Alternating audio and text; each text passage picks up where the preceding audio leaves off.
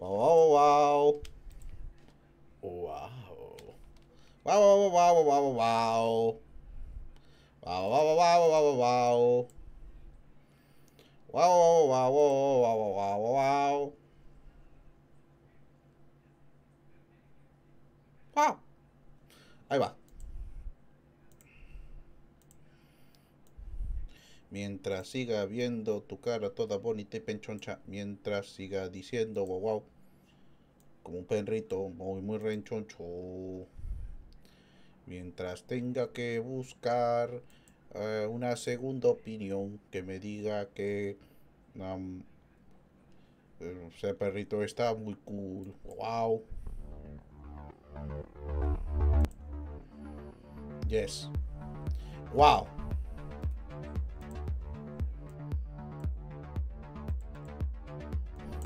Oh yeah. Hora del perrito.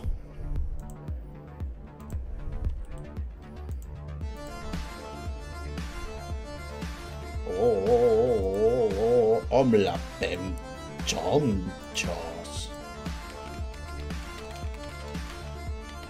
Choncheando en directo, viendo qué tan factible es mi idea de Minecraft Jenny's Mod Survival. ¿Vienes? ¿Con quién tendría que hablar para ver si eso es canon? O puede llegar a ser canon.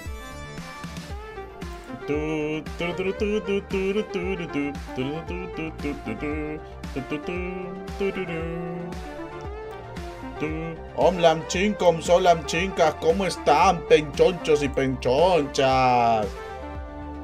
Pansenlen, pansenlen, pansenle. Hola Leo, te quiero. Omla Matsu. Pregunta, ¿qué opinas de la serie de teoría de Big Bang? Eh, está bien. Tiene sus momentos, pero alguna vez sí es bastante molesta. El perrito de Kun es real. Tómame una foto con el dios emperador. Yes. Hola Leo, ¿recuperaste tus dembrechos? Sí. Una vez más puedo volver a caminar en los centros comerciales sin que me pidan mi identificación cada dos minutos. Hola perrito. Hola, hola, ¿cómo están penchonchos y penchonchas, zambromsos y zambromsas? Primer directo que veo en Twitch, me siento clasista. Hola, Benholf, bienvenido. Supongo que se dice así. Buenas, hola perrito, larga vida al emperador. Bienvenido, bienvenido, penchonchos y penchonchas. Voy a comenzar con el canal de la Y Roja para que también se nos suman todos penchonchos, todos renchonchos. Buenas Pemrento, buenas, buenas, gajone.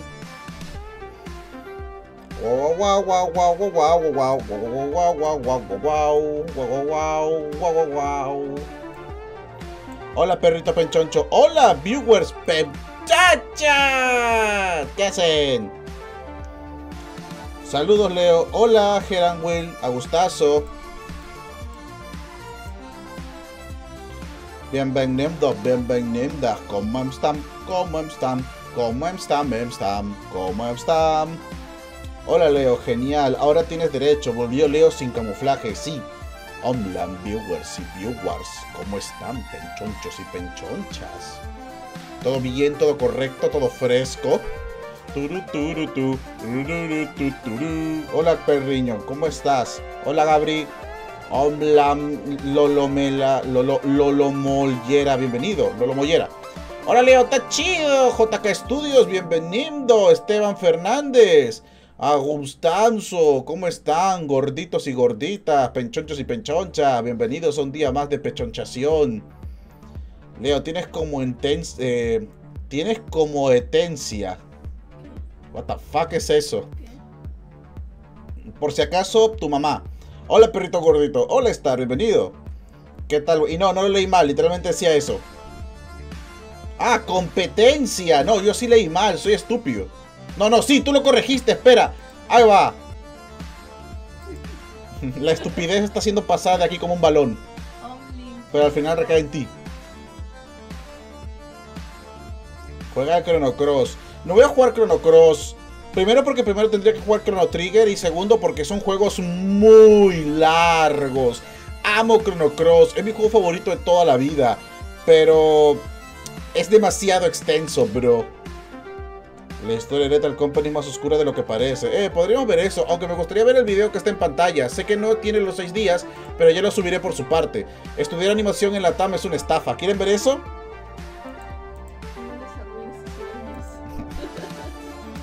Eh, creo que puedo dar un pequeño... Creo que puedo agregar algo bastante a esa conversación porque yo de hecho estudié animación digital en Latinoamérica. Ah, ¿y qué yes. tu experiencia? A ver, fue un buen instituto, cobraban como el culo, eso sí. Em, pero la enorme mayoría de gente con la cual estudié ahora mismo está como que haciendo otras cosas, ¿sabes? Mm, ¿Cuándo fue tu época de estudiante? ¿Hace cuántos años? un buen par. Nah, no voy a doxearme. Fue hace un tiempo. El punto es que... sí, sí lo es. Perrito animador sin título. Sé que te quedarás callado y si te quedas callado al final no lo subes. Pues sí, porque si no agrego a nada al video, ¿para qué lo voy a subir? Podrás reaccionar a la reseña de la peli de Monster Hunter hecha en Netflix. Eh, esa película fue... fue existe, ¿sabes? Está allí. Nadie la odió, pero tampoco nadie la defendió a muerte. Fue como que, ok, película de Monster Hunter, gracias, buenas tardes, gracias, vuelvan prontos y listo. Ahí va. Ya, cómete la maldita naranja, ya, ok, voy a poner el video. ¿Y lo del concurso, Leo? Lo vamos a ver cuando lleguemos a 2000 personas.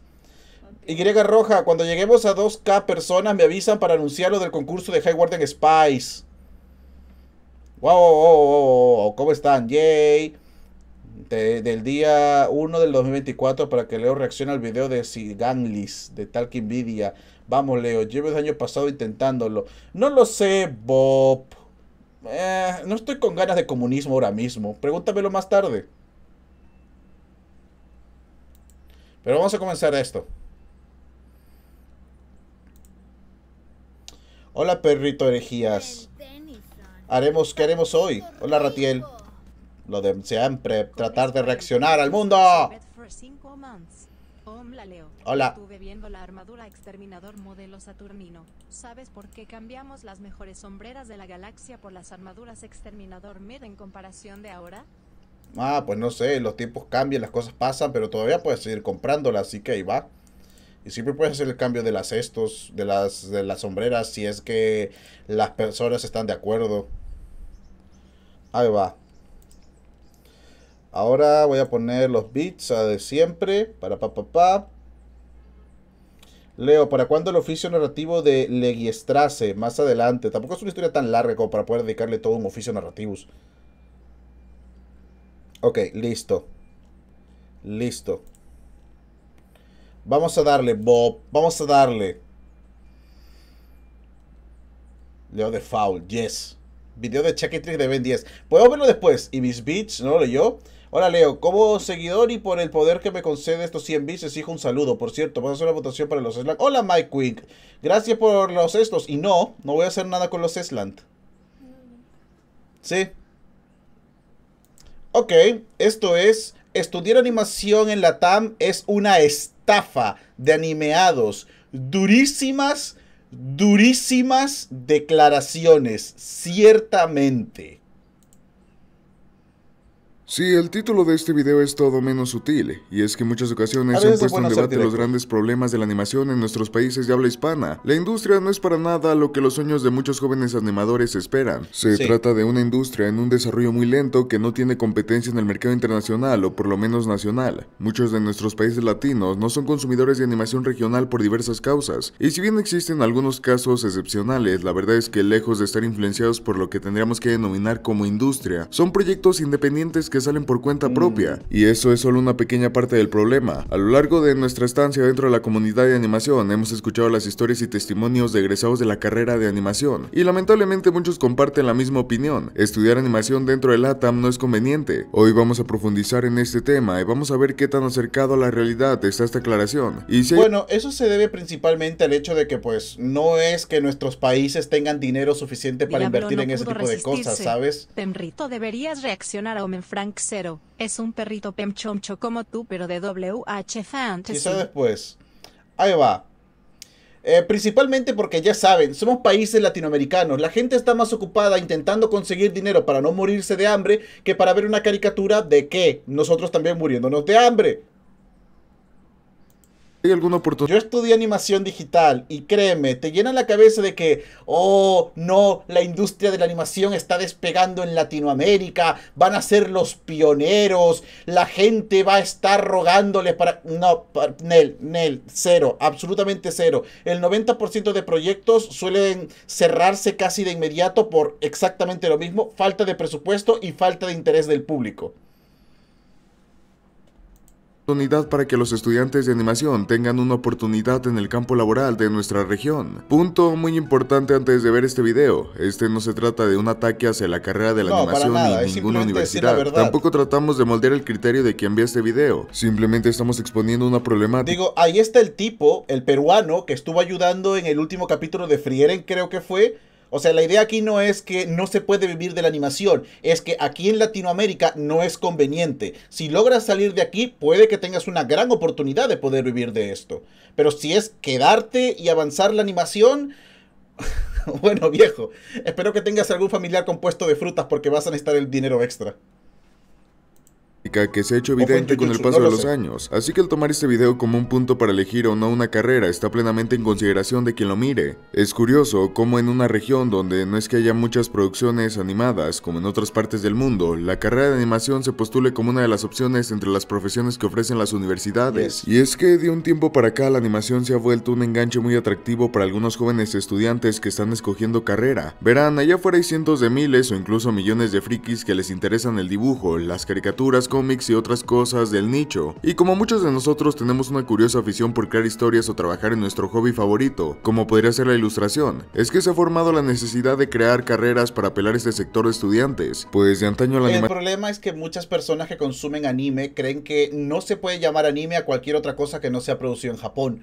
Por lo tanto, incluso aunque salgas con una buena idea, con algo interesante, el gran, la, la gran masa, aquellos super elitistas, te van a voltar a ver feo porque no eres nipón. Y la enorme mayoría de gente que trabaja animación, queramos o no, lo hace porque son fanáticos del anime. Claro, no todos, hay un enorme grupo también que está interesado en otras cosas, pero casi todos es que yo quiero hacer el siguiente Dragon Ball, Padre Ball era una carrera muy específica que solo contadas universidades tenían, es decir, los años 80 y 90 eran ridículamente raro la institución que tuviese esta profesión entre sus listas, pero con el paso del tiempo y con la creciente comunidad de animación o de frikis que les interesaba las series animadas, es que se hizo eco en los oh. oídos de las universidades e incorporaron progresivamente la animación como una carrera más, por encima de otras profesiones como la ilustración o la creación de cómics. ¿Sabían que aquí en Perú unas universidades estuvieron alentando cursos para aprender a jugar Dota?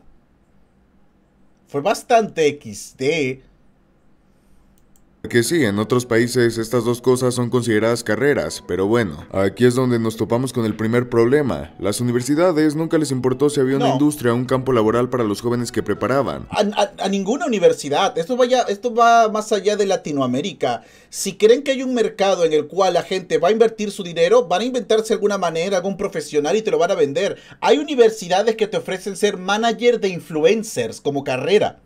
O directamente carrera influencer como si esas mierdas se pudieran enseñar. Y hay gente que, y no, no es aquí en Latinoamérica, eso ya es en otras partes, en países del primer mundo, como suelen llamarse. a las universidades les da igual si vas a hacer algo con ese título, solamente quieren que, que creas que vale la pena cobrar por ello. Y te van a inflar con todo lo que puedan, créeme. Muchas de estas instituciones funcionaban como empresas. Bueno, al fin y al cabo sí son empresas educativas, así que la animación se veía más como un medio para atraer clientes y no dejar escapar a cierta demografía. Tan solo piénselo, ¿cuántos jóvenes no abandonaron los estudios porque la carrera que eligieron simplemente no se acoplaba con sus intereses o gustos y terminaban por desistir de continuar? Eso es ingreso perdido para muchas universidades privadas. Sin embargo, ¿qué pasa cuando ponías una carrera que fuese lo suficientemente flexible para que una gran demografía se interesara en ella? La animación como la las personas la juzgan, lleva dibujo, efectos por computadoras, diseño de personajes, entre muchas otras. Eso se le conoce como estafa. No es técnicamente una estafa, porque al final quien toma la decisión es la persona, pero no se le da la información correcta. Por lo que es una estafa bastante normalizada, es una estafa permitida por los estados, por los gobiernos. Hoy en día las universidades, no sé si en algún momento tuvieron la intención, pero ya no les interesa que tengas una mejor vida o que logres algo con esto, les interesa ver cuánto pueden sangrarte antes de que llegues a la línea de meta. Y no lo digo por ir en contra de las universidades o en plan de que, ah, Leo, este, seguramente tienes algo, este, de odio contra... No, no, no, es simplemente que por desgracia así es como funcionan las cosas hoy en día. Les da igual si vas a hacer algo con la información que van a darte. Lo único que quieren es poder darte todas las razones posibles para seguir cobrándote más al siguiente mes. Ni siquiera les importa si prestas atención o no. Yep. Esto, si bien es cierto, es muy pero muy dependiente, aunque vamos a indagar en eso más adelante. El punto es que el chico que le gustaba dibujar, a la morra que le encantaba hora de aventura o al friki de turno, la animación se escuchaba como la alternativa perfecta entre las opciones de carrera que muchas universidades ofrecían. Como mencionamos, tenía una flexibilidad en cuanto a gusto se refiere bastante grande, así que por eso es que esta carrera proliferó por encima de otras carreras que apelaban a la necesidad creativa de los jóvenes. Porque sí, antes de esto, muchos de estos chicos, al no encontrar una carrera que compaginara con sus gustos. Muchos optaban por la vía de las artes plásticas, pero como todos saben, este tipo de carreras no tiene un peso en la sociedad latina. Viejo, al menos siquiera puedes trabajar como, tapete, eh, como tope de puerta o algo así. ¿Sabes? Tienes menos chance de morir de hambre con eso en general. La opinión que una buena parte de la población sobre esta rama de la educación es el clásico te vas a morir de hambre. Y esto disuadía a muchos jóvenes de estudiar Ese es el tipo de carreras que estudias cuando tu papi tiene dinero. O cuando ya conseguiste el dinero, tienes eh, tantos años, cuarenta tantos años, tienes el dinero suficiente para poder mantenerte, estudias estas cosas para complementar o simplemente porque te parece entretenido. Pero como, como carrera para iniciar tu vida, como el punto de partida para conseguir una vida decente. Eh, eh, eh, eh, viejo. Yo quiero entrar a una universidad de animación llamada Escena y dicen que es una de las mejores. ¿Debo seguir mi sueño o ya empiezo a exportar droga?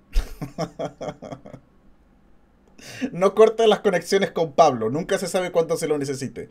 Carrera. Sin embargo, la animación, las universidades se encargaron... Pero no, las a ver, a ver, es que no es solamente el hecho de que tengas un título universitario de una universidad chingona, es saber dónde lo vas a usar. O sea, eso te podría servir si después de ganar el título tienes la oportunidad de salir del país y buscar un lugar donde los animadores sean más buscados. Pero aquí en Latinoamérica, a pesar de que aparezca con un, con un esto de, de, oh por Dios, Platinum Pro, el mejor de la clase, si simplemente no hay ninguna casa productora o el gobierno no quiere financiar absolutamente nada, no vas a hacer nada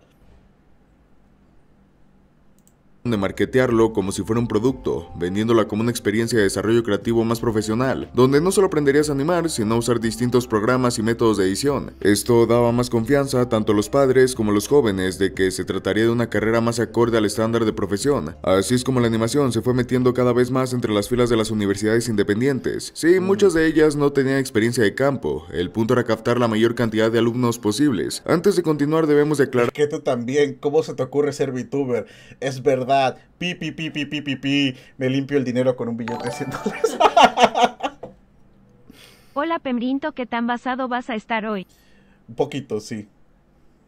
Ah, ah, hay que ser completamente honesto. Gran parte de lo que pasó a mí fue suerte. Fue muy buena suerte, no me tomen como referencia. Ya, ya, saben que el porcentaje de gente que vive de internet es extremadamente bajo comparado con la gente que lo intenta. A pesar de que hemos mencionado que muchas universidades se manejan tal cual como una empresa, eso no quiere decir que la calidad de la educación sea mala. Al contrario, un buen marketing... No tienen la menor idea de todo lo que tuve que pasar antes de llegar a un momento de mi vida en el que me siento económicamente este, em, estable y una buena reputación nace a partir de la calidad de los docentes y las instalaciones, así que independientemente de la forma en cómo se gestione la universidad, este no es un claro factor para determinar qué tan buena o mala será la experiencia, por lo menos en el campo de la animación. Muy bien, si tú fuiste de estas personas que decidieron estudiar animación, seguramente sabrás identificar muchos de los mitos y de las creencias que se tiene sobre la carrera. Y es que a pesar de que muchos institutos tienen abiertos para el público sus... Ay, me hizo acordar, tengo un sobrino el cual ha comenzado a estudiar animación y fue al mismo instituto al que está yendo mismo instituto que yo fui y mi prima se me acerca y me pregunta, este, eh, eh, sobrino en tacita, tú que estuviste en ese lugar, ¿es cierto lo que dicen de los profesores? Y yo, ¿qué, qué pasa con los profesores? Este, sí, son buenos, varios de ellos tienen experiencia. Este, no, no, que son, y, hace como que fumando en plan de, ya sabes, que, que, son bohemios. que, que, que, les gusta, les gusta este, ir volando. Y yo, XD, XD, XD, XD. Eso ofende. Poco sí, pero eso ofende.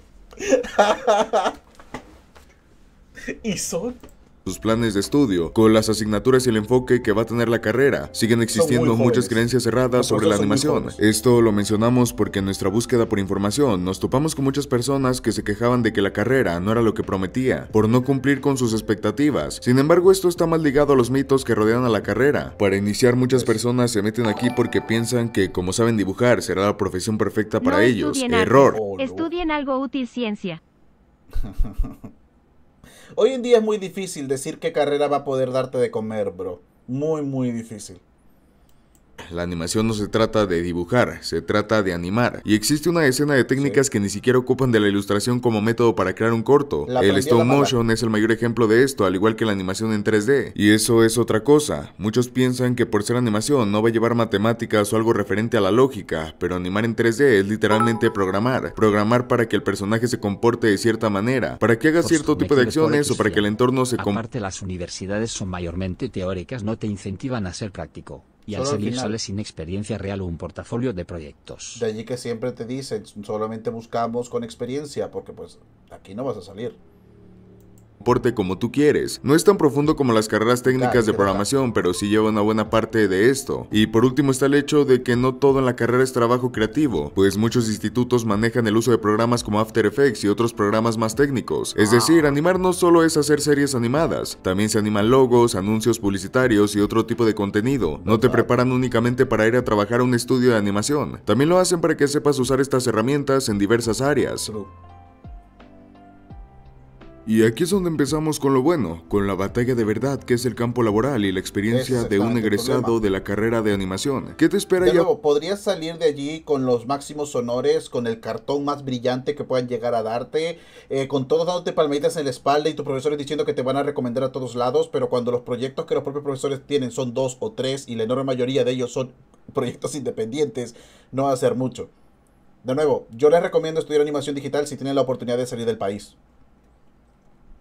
afuera después de graduarte, después de que entregaras un corto detallado y muy bien animado como tesis, después de que pasaste años consumiendo y analizando cortos, después de que te decidieras que tu meta sería trabajar en un estudio de renombre. Bueno, la verdad es que no es muy prometedor. Como mencionamos, leímos muchos testimonios en grupos de Facebook, en posts de Reddit de nuestra región, y vimos varios videos en redes sociales como TikTok de personas hablando de su experiencia. Pues con la apertura de estas redes es que estas historias y opiniones se volvieron más visibles e hicieron evidente un problema que muchos animadores pasan después de egresar de su carrera, la falta de oportunidades laborales, y esto es un problema general en el mundo de hoy en día. Se estima que más del 33% de los egresados de las universidades no logran encontrar un trabajo en su área de estudios, y por lo menos un 45% no logra obtener su primer empleo, y para el área de la animación el porcentaje es peor. Se estima que por lo menos un 11% de los estudiantes llegan a trabajar en un estudio de animación o en un... ¡11%! esto que cumpla con las expectativas de la carrera. Es muy difícil encontrar este tipo de empleos y esto es mayormente la industria de la animación en LATAM. Como saben, hay una queja constante de muchas personas que son parte de la comunidad de animación en Latinoamérica. Y es que no hay... Yo quiero mi sanidad mental. producciones relevantes. Esta es una afirmación con trampa, ya que existe un montón de animaciones, series, películas y cortos hechas en nuestra región. Sin embargo, no todas llegan a ser lo suficientemente relevantes como para crear una industria estable. Pues, nuestra región... No, la enorme mayoría de esos es como que, ah, qué bonito, y luego absolutamente todo se olvida del tema y nunca más vuelven a mencionarlo jamás por siempre en la eternidad. ¿Sabes? Es como que se le aprecia más por el hecho de ser algo latinoamericano que por el hecho de que es o no es un buen producto. Y varios de ellos lo son. Claro que hay gente con bastante talento aquí que es capaz de contar una historia muy decente, con una animación bastante bonita. Pero, de nuevo, el enfoque nunca es, mira esta historia que te va a encantar, es, mira este producto latino. Y la gente pues se, se, desanima, en plan de, pues, si es solo por eso, prefiero seguir viendo mis monas chinas. Number 41 que me quiere por X Una parte de mí se arrepiente de haber desertado de la universidad. pero mi bolsillo me sigue diciendo que fue bueno ir directamente a chambear y aprender de verdaderos maestros en el trabajo. A veces funciona. No ve el contenido y el entretenimiento como un recurso más. Una productora de animación está lejos de ser comparada con una fábrica de autos por poner un ejemplo. Sin embargo, en otras partes del mundo hay productoras que manufacturan tres veces más que muchas marcas de automóviles. Simplemente en nuestra región no ve el entretenimiento como un medio que se puede exportar o funcionar como materia de consumo. Por eso es que hay contados estudios que son relevantes a nivel internacional. Pues al fin y al cabo esto es lo que les da el estatus como productoras. Seamos honestos, hay una razón muy alejada del concepto original de este personaje por el que se hizo popular. Por desgracia. Me gusta el diseño, por cierto, muy bonito. Así que si tu sueño era participar en una serie animada es algo complicado. Bueno, si es que quieres trabajar con una empresa grande, ya que existen miles de empresas independientes que crean mucho contenido, pero debido a lo inestable que es la industria no logran sobresalir. Este es uno de los mayores problemas de la animación como carrera. Muchas universidades hacen campañas de marketing masivas para que los jóvenes lleguen a interesarse por sus carreras. La animación es un gran ejemplo de esto. Endulza la materia con ser una carrera creativa. Te muestran los diversos avances de sus alumnos y tienden a exagerar los resultados de sus animaciones es más, por ahí leímos que muchas de estas universidades mandan a crear animaciones y cortos a estudios grandes para ponerlos en su propaganda, en vez de utilizar los recursos que sus alumnos crean. Encima, muchas de estas universidades jamás ponen el área laboral o las oportunidades que tendrás egresando la carrera. Y sí, lo sabemos, este es un factor muy dependiente que poco o nada tiene que influir si es que tú amas la animación, pues al fin y al cabo es un arte. Sin embargo, hay miles de jóvenes que deciden entrar a una carrera no por amor al arte, sino para mejorar su situación económica y de vida, y como estas escuelas... puedes hacer arte y puedes vivir de ello. Eso, eso debería ser el objetivo final. No necesariamente por hacer arte necesitas morirte de hambre o decir no voy a cobrar un solo centavo jamás por ninguno de mis trabajos porque son arte para el mundo. Bueno, buen epitafio para tu tumba, supongo ponen esta carrera como una alternativa creativa para aquellos que no les agradan las carreras más convencionales, es que terminan por entrar en ella, quieran o no, es mentira. Y es una pena porque cada vez más personas están entrando a esto, por lo que pronto se va a convertir en una carrera un poquito mainstream. Y si antes era malo con la cantidad de gente y pocas oportunidades, después se va a poner peor. Sí, siempre puedes abrir tu propio estudio hentai en Latinoamérica. No recuerdo haber escuchado de eso jamás, así que quién sabe, quizás hay un mercado sin explotar a las personas y jugar con algo tan delicado como su futuro. Pero la cosa se pone aún peor. Con el paso de los años y la popularización de anuncios mediante redes sociales es que se ha visto la alza de postración de varias academias de animación. Ya sea Por eso están tan enojados con las CIAs. Dios, les ha costado mitad de la carrera, a ver, les ha costado 8 años terminar la carrera y otros 8 conseguir un trabajo. Y ahí, viene Big Journey haciendo lo mejor en la mitad de tiempo. Holy fuck. ¿Se entiende, eh? en línea o en presencial. Estos se tratan de organismos externos a las universidades convencionales que se enfocan única y exclusivamente en la animación. Esto tiene dos puntos que se contraponen, o la academia Yo puede ser... Yo estaría enojado con la CIA si fuera el caso. Estaría muy enojado, ¿sabes?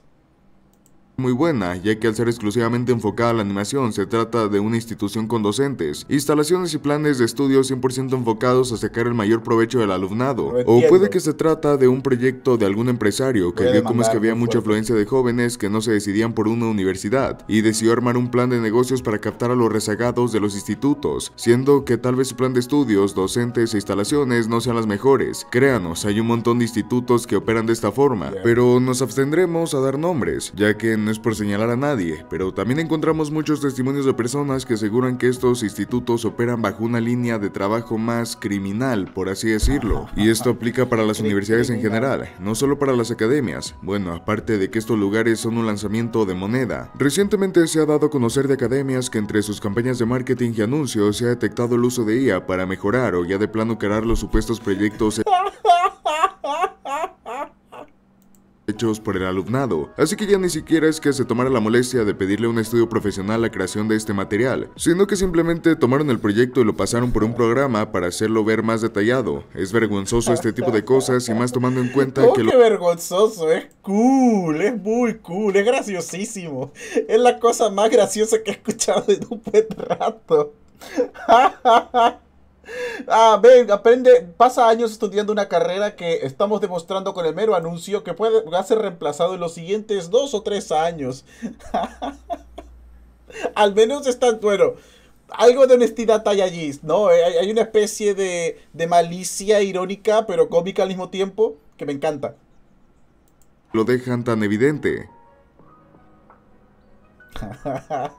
Entonces, ¿estudiar animación sí es una estafa? Pues hemos de decir que sí en cuestión de cómo muchas universidades y escuelas manejan la carrera, pues al fin y al cabo se ya trata... Sé, ya sé que muchos de ustedes odian la CIA, sé que muchos de ustedes son artistas, etcétera, etcétera, etcétera. A mí me caen bien las CIA, creo que hay un futuro en el cual los dos pueden coordinar sus esfuerzos para poder hacer productos increíbles, pero tienen que admitir que es gracioso que una compañía de animación digital ponga sus anuncios hechos por IA para atraer gente.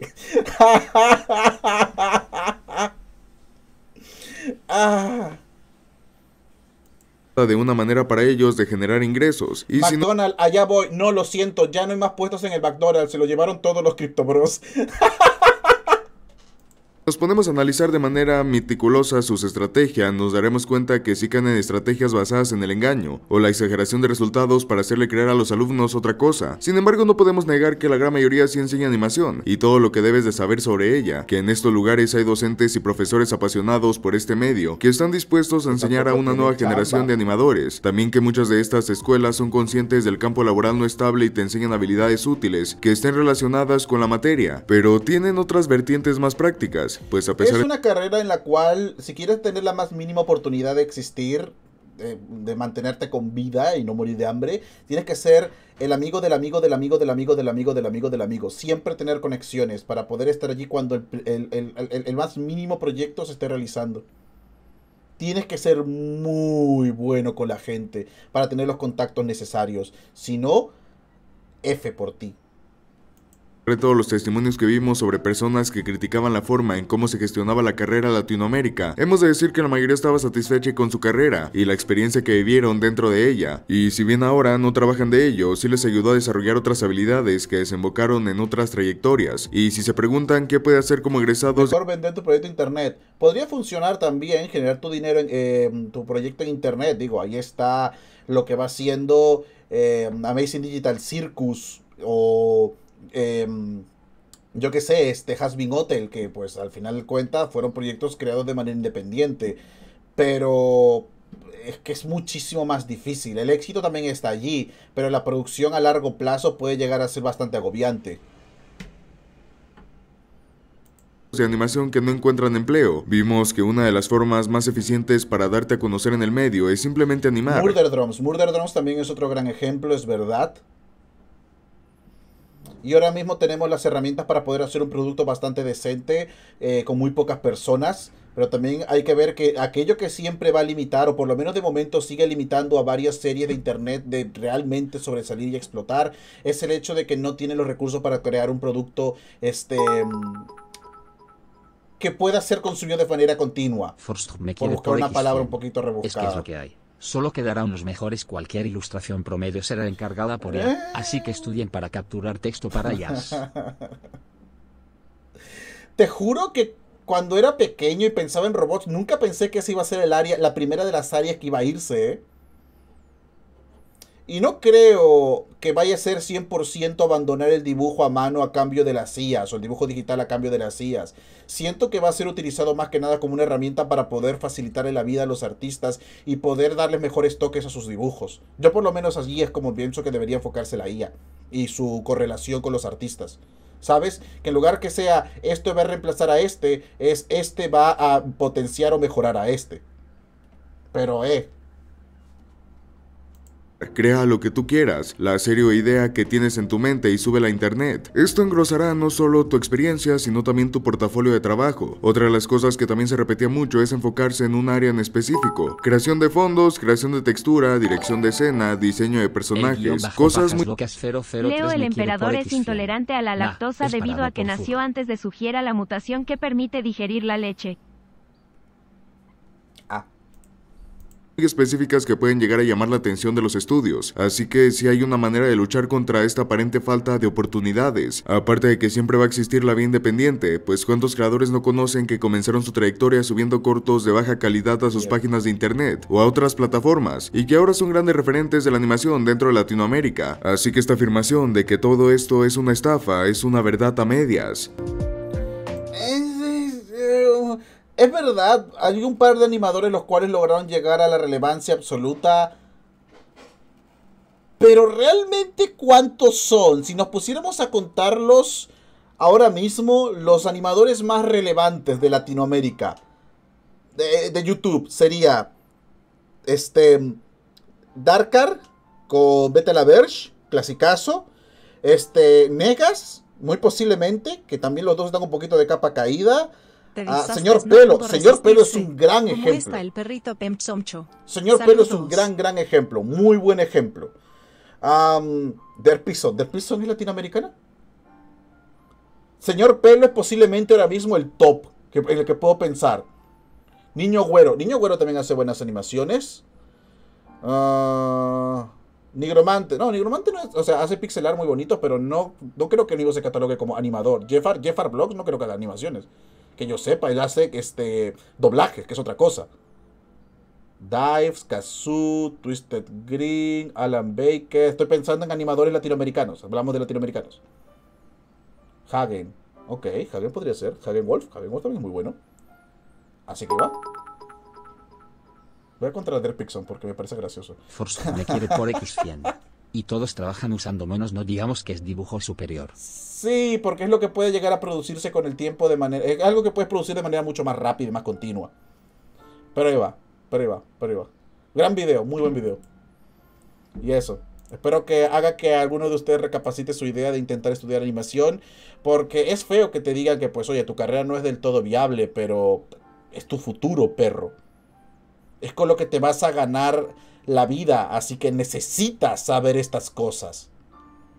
Y de nuevo, mi mejor consejo, por lo menos eh, por mi lado, es, em, si vas a estudiar animación, espero que tengas una forma de salir de Latinoamérica. Si no es así, espero que seas muy carismático.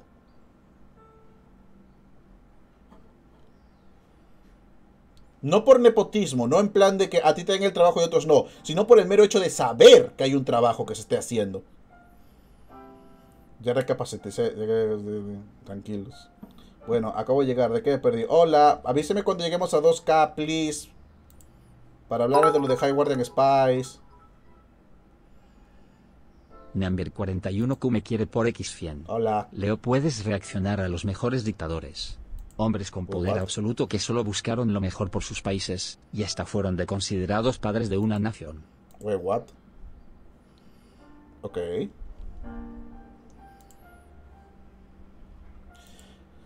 Ah, dictadores. Quizá después. ¡No! Me dice uno. Ah, ¡No!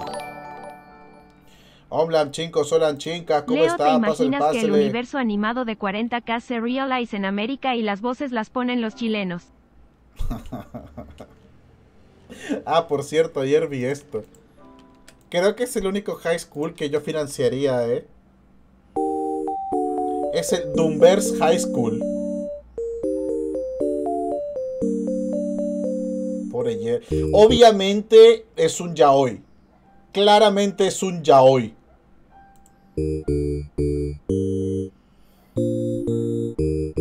Está Super Wario Man y todo. Qué bonita. Tejuino-bajo acalambrado me quiere por X100. Hola Len Lopensonso. ¿Crees poder reaccionar a algún vídeo acerca de la caída de Rich? Mm, quizás. Ahí va. está bastante guapo, está muy bien hecho. ¿Ok? Y dicen que la, animación latinoamericana no tiene futuro. bien. La energía suena mejor.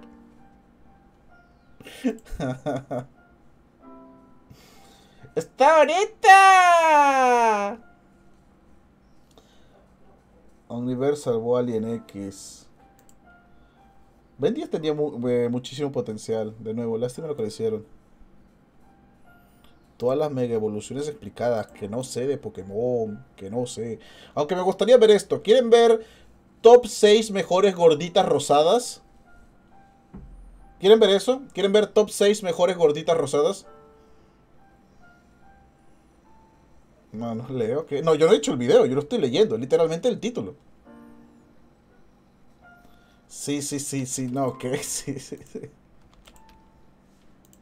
Ok. Ahí va.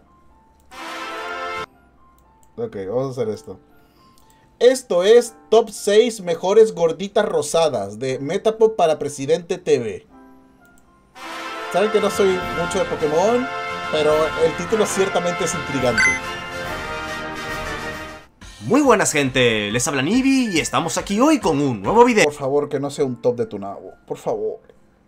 Por favor, que no sea un top de 12 minutos de, de ti hablando de tu pollo, de tu pipí. Todos ustedes saben que yo soy entusiasta de las gorditas rosadas, así que por fin decidimos traerles el mejor top que verán en este canal. Aquí veremos cuál de todas estas gorditas rosadas es... Esto es top 6 mejores gorditas rosadas. Me tapo para Presidente TV.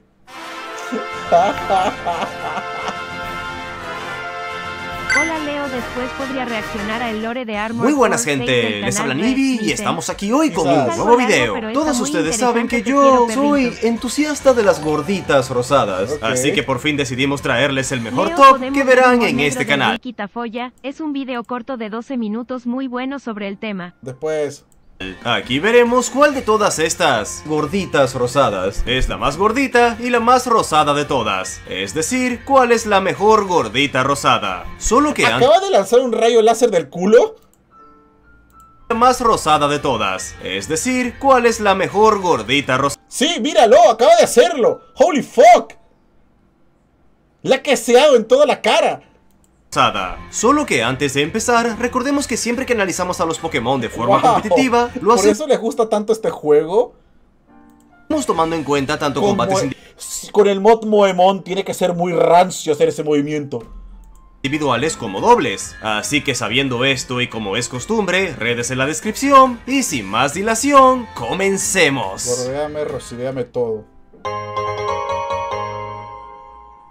Comenzamos este top con Wigglytuff. Esta gordita rosada tiene un montón de coberturas como rayo, trueno, ventisca o llamarada, lo cual realmente no le sirve de mucho, ya que si vemos sus estadísticas notaremos que son verdaderamente malas. Lo único bueno que ah. tiene son sus puntos de salud altos de 140, que lastimosamente no le sirven de nada por tener unas defensas de papel, la física de 45 y la especial de 50. Ambos ataques son mediocres, 70 puntos en el físico y 85 en el especial, el cual fue incrementado en la sexta generación, teniendo antes 75 puntos. Lastimosamente para Wigglytuff, todo esto le pesa bastante, además de que han habido Pokémon de tipo normal bastante buenos, como Snorlax. Dependiendo de la generación, su uso ha variado. En las primeras se usaba como un Pokémon que causaba cambios de estado con onda trueno o canto. Pensé que iba a ser un video de gorditas rosadas y memes, no de estadísticas jamás fue muy buena haciéndolo, y usar sus coberturas no era muy buena idea ya que no golpea muy bien que digamos. Además, tuvo la mala suerte de no obtener una habilidad que la haga de... Es un video de competitivo, una pena. No sé nada del competitivo Pokémon, no voy a poder agregar nada.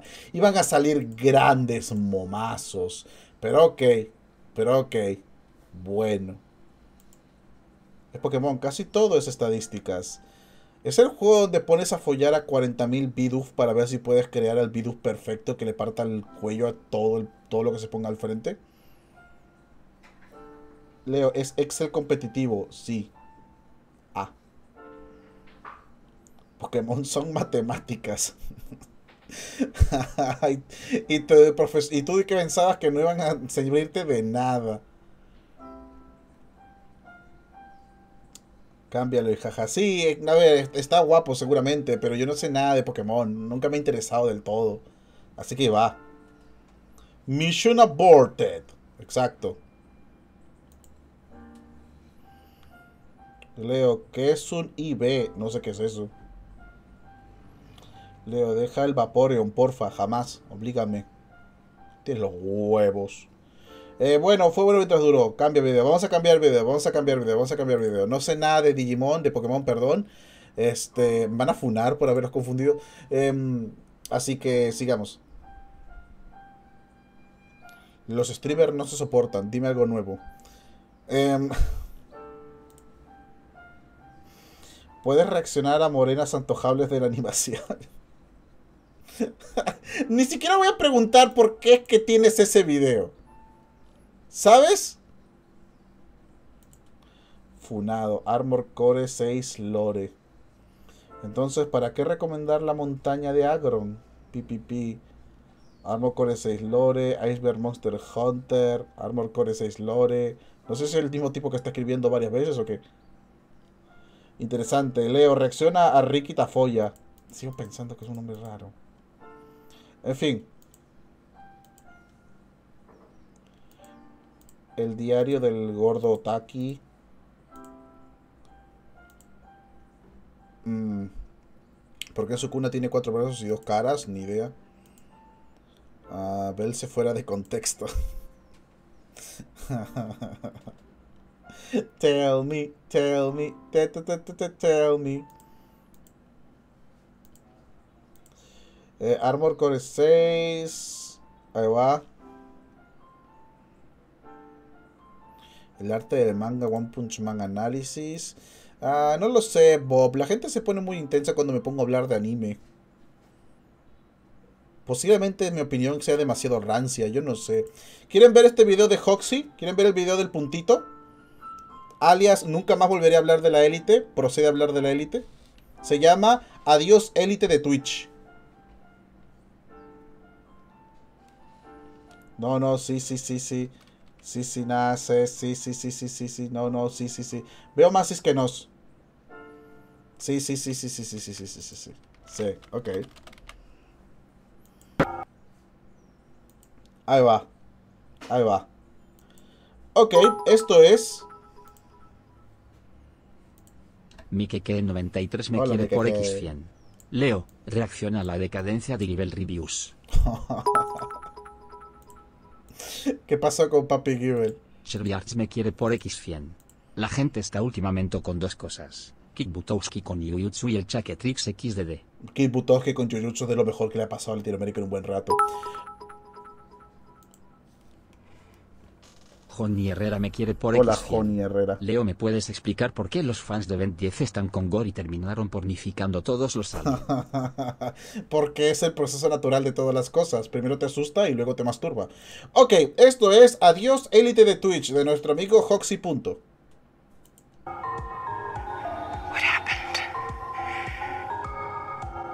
I won.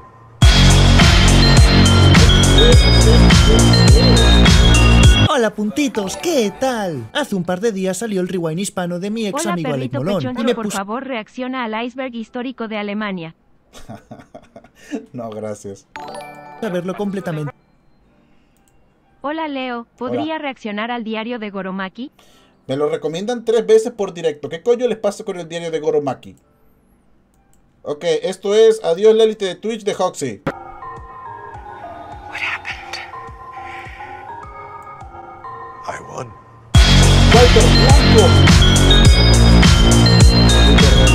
Hola puntitos, ¿qué tal? Hace un par de días salió el rewind hispano de mi ex amigo Alec Molón y me puse a verlo completamente por mi cuenta y la verdad no pude aguantar viéndolo. Que sí, Alec Molón, que te encanta la edición, los efectos especiales, eso está muy épico. un video del canal de Motherland 2.0. Quizá después.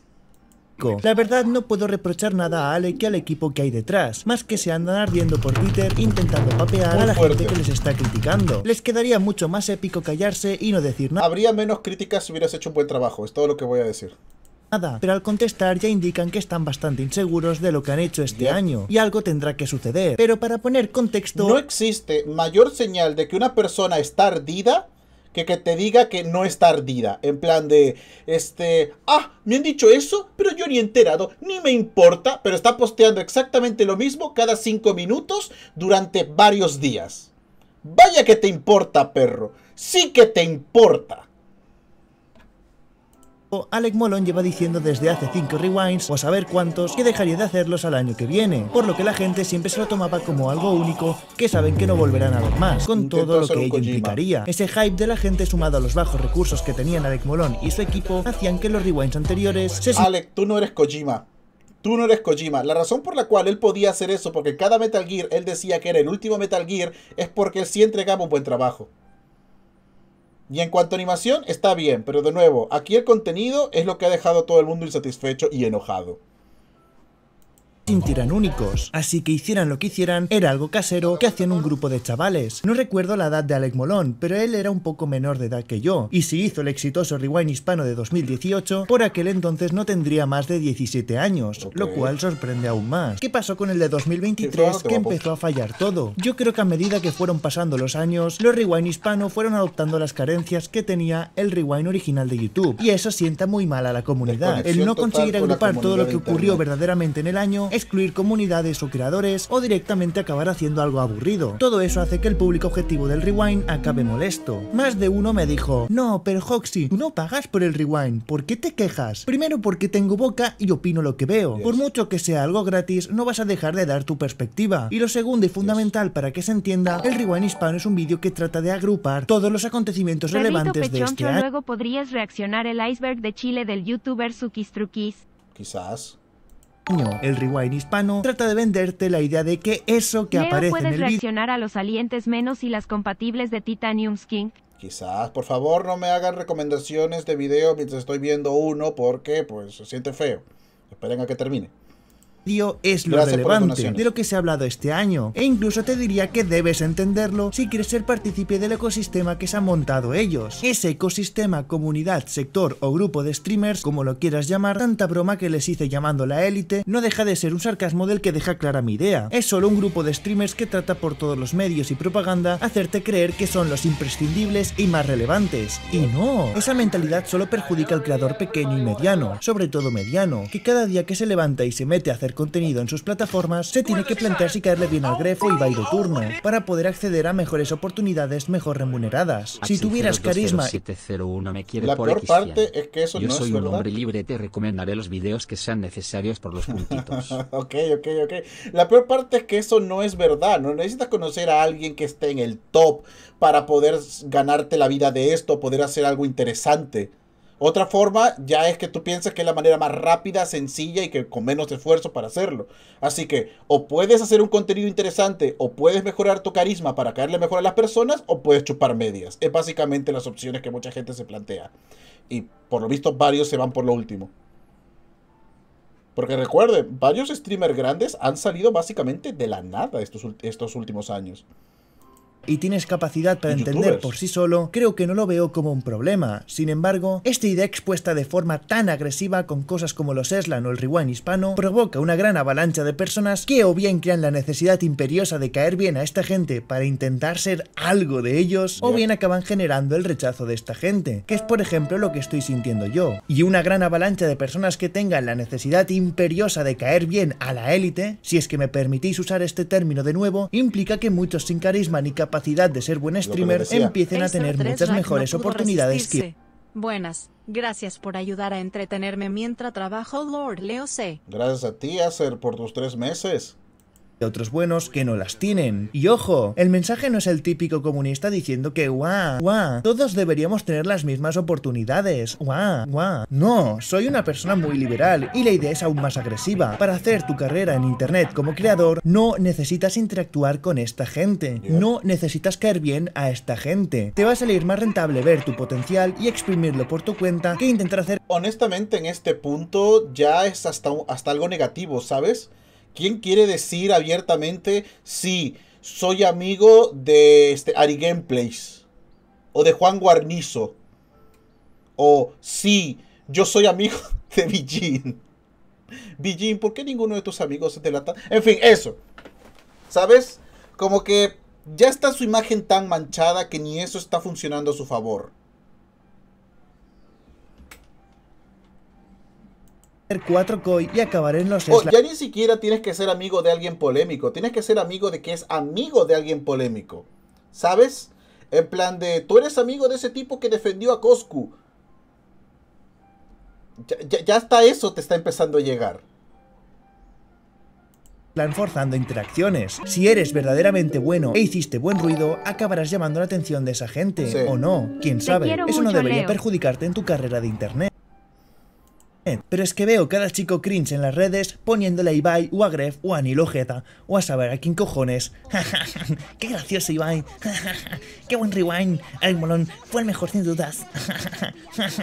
no tengo neuronas propias, solo digo cosas complacientes para entrar. Y no hay cosa que me dé más asco en esta vida que los que hacen colla a otros para mantener sus posiciones. Eres infeliz y no sirve de nada. En fin, ya la mitad del vídeo vomitando mis conclusiones y ahora de forma bien extrema. a la cima, lamiéndole las medias a la gente, oliéndoles el trasero para que se sientan mejor, en el momento exacto en el que ya no les importes, no va a haber ningún problema en dejarte ir.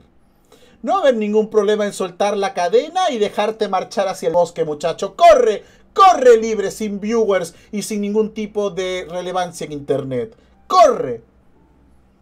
¿Por qué? Hay tantos como tú allá afuera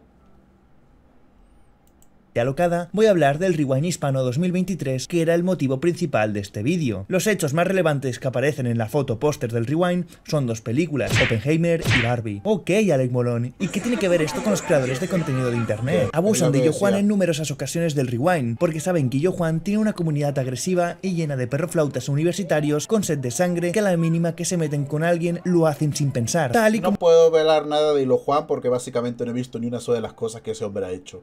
Pensé que era simple. Yo, yo lo veía desde el lado del plan de quizás lo Juan es el único realmente decente aquí, ¿sabes? El único de ese grupo que no se metido en problemas o que no está en nada serio y por lo tanto decidieron colocarlo más para que de esa manera es en plan de, oh, oh, él es el que nos representa. No sabía que había un problema con su comunidad como hicieron a Darkrai Mola por literalmente decir de broma que ganaron a Illo Juan y a Canecro en una competición de Pokémon en Twitch. Lo ah. hatearon demasiado. Al poner a Illo Juan en tres si no más escenas hace que consigan mitigar el hate por esa banda. Pero igualmente con el resultado final la gente está haciéndole una funa tremenda. El concepto del rewind es que hay un robot que toma el control del rewind, simbolizando uno de los eventos más grandes de este año, la inteligencia artificial. Y este trata de innovar en ciertos aspectos, como por ejemplo que no aparezcan las series genéricas de Minecraft nuevas. ¿Desean un rewind épico? Pero se limitan a hacer reacciones y series de Minecraft. Pero precisamente lo funaron de forma internacional porque en una escena metiéndose con la serie de Quackity, que básicamente lograba juntar a muchos streamers de forma internacional con un sistema de voz de lenguaje universal en la serie, o yo que sé qué, algo raro pero que me parece increíble, en esa escena se mete con que es una serie ZZZ. Y no me parece ZZZ. También aparece un vídeo de Lauron grabado con el móvil diciendo que no se olvide de Tortilla Lan. Ya, sí, Auron, sí, ya sabemos, Tortilla Lan. Otra vez empieza el rewind con una escena genérica de fútbol como si fuera un anuncio cringe de una Fanta o una Coca-Cola, pero con streamers, haciendo la referencia a la King Sueño. Pero lo más fuerte fue lo de la velada de la... Y sí, un enorme saludo. Hola. Eh, streameo juegos también por aquí en Twitch y tengo mi canal Uno Junleo que es Full Gameplays. Vamos a poner contexto. Voy a ponerte contexto. En este rewind se está empezando a abusar de cosas que se hacían antes, pero ahora parece que muchos streamers han encontrado la clave y no paran de repetir hasta la saciedad. Se blanquean de las funas, como si fueran chips del GTA San Andreas. Justo lo que les decía, le bajan la intensidad a las funas diciendo, jaja, miren lo que nos reímos de esto, como para dar a entender que no son tan serias como eran. Pero una vez más, este año tuvimos funas muy intensas, no es simplemente que, ah, el Rubius le quitó este, el lenguaje inclusivo al Spider-Man, que eso fue una funa estúpida, eso es alguien que, ah, nadie se va a enojar con el Rubius verdaderamente por eso. No, estamos hablando de auténticas cosas muy turbias. Y ellos intentan hacerlo pasar como que, no fue nada realmente. Por ejemplo, Virus se pincha esteroides en el rewind simbolizando la funa que recibió por usarlos contra una pelea de boxeo contra un gringo, dando por hecho que también habrá usado esteroides en la velada del año, siendo algo antideportivo y vergonzoso, encima en un torneo de gente que... Se dice que para hacerlo más realista realmente se intoxicó para esa escena. Es un actor de método. no es profesional, Virus decidió a los días de su depresión y tristeza hacer burla de ello, probablemente fantaseando en su mente que seis meses después de verano, es decir, en diciembre, haría una escena cómica en el rewind pinchándose como muchachos, soy el hombre esteroide, o cuando aparece viviendo en la calle, un tipo que fue conocido entre otras cosas por casi atropellar a una señora ciega por la calle, pero que estaba más atento de leer el puto directo de lo que tenía en la vía pública. Vienen muchos niñitos a defenderlo diciendo que como él tenía verde no pasa nada. Pibe, no, tú no puedes desviar tu mirada de la vía pública. No puedes hacer eso, es ilegal. ¿Cómo es que el hombre no está preso?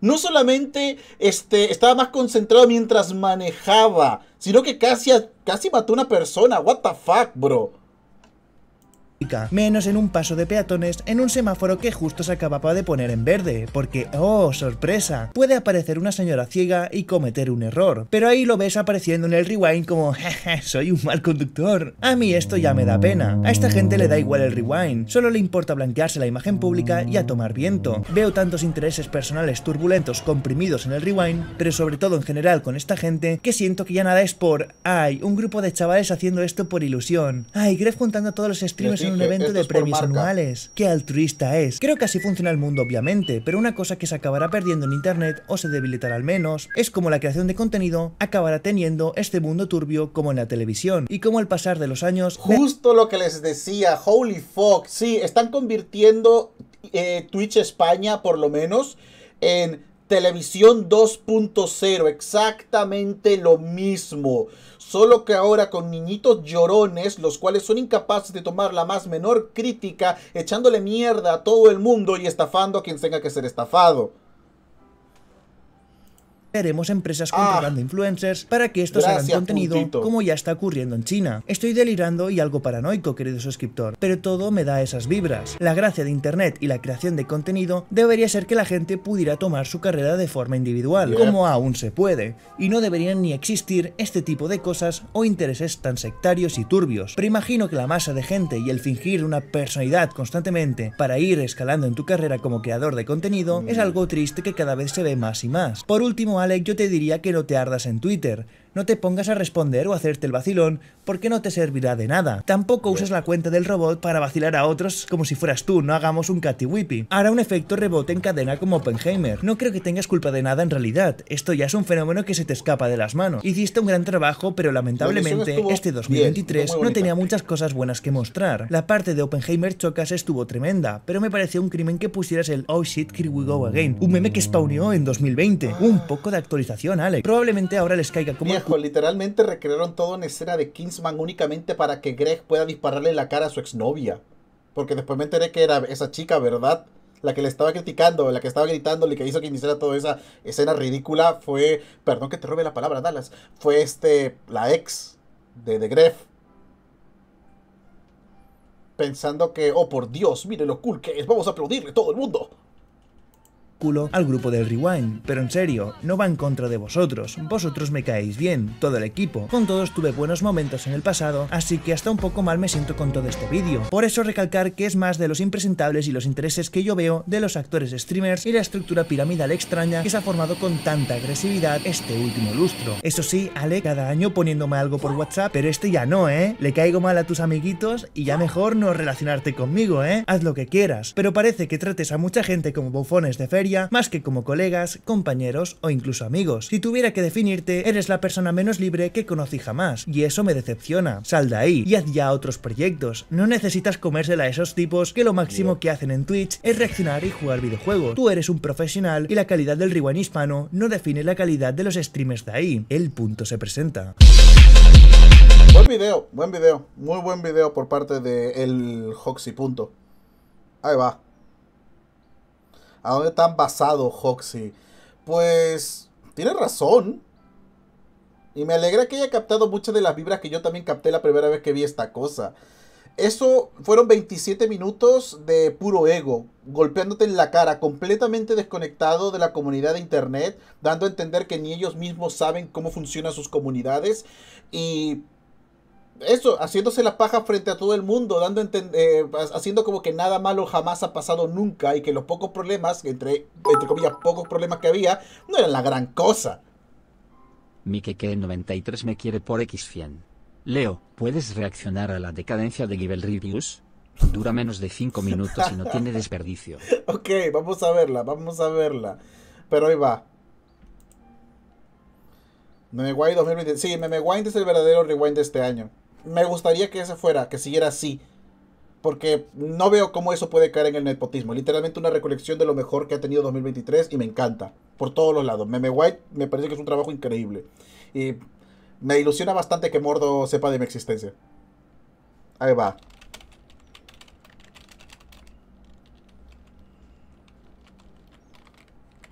Uf. La decadencia de Givel Reviews. ¿Quieren ver esto? es de hace dos años. Yo creo que dos años ahora hay mucho más que decir, pero bueno. Nah, no, no, no, sí, no, no, no. Son cuatro minutos, perro. Ya de clipar dos Gibbel. Sí, sí, sí, no, no, no.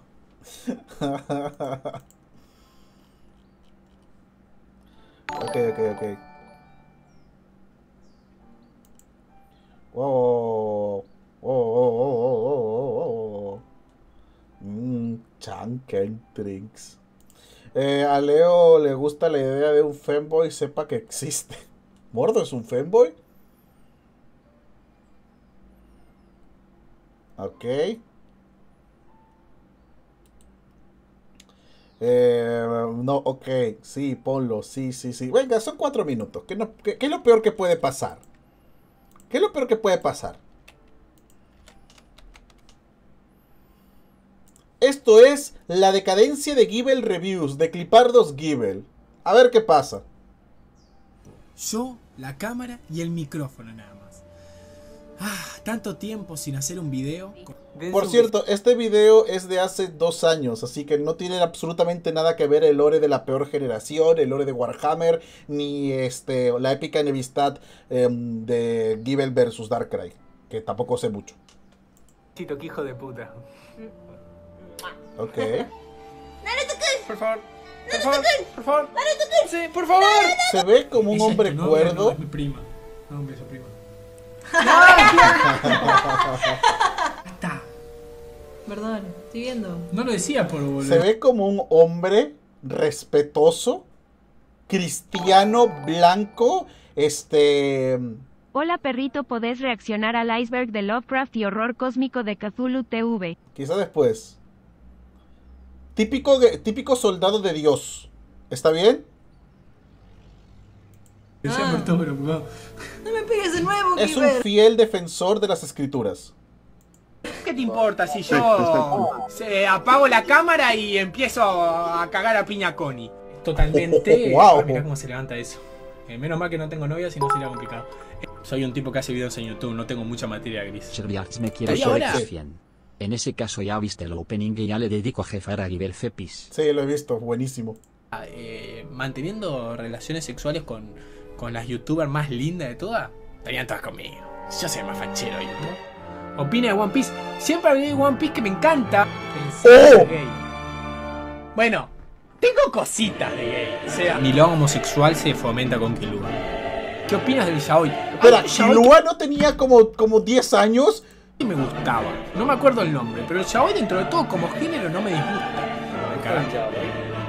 Lo aburrido del yaoi es que es muy repetitivo. Eh, depende, depende, depende. Ponele, Banana Fish me parece una, me parece una serie muy buena en cuanto. Quiero ver Banana Fish, pero me da miedo.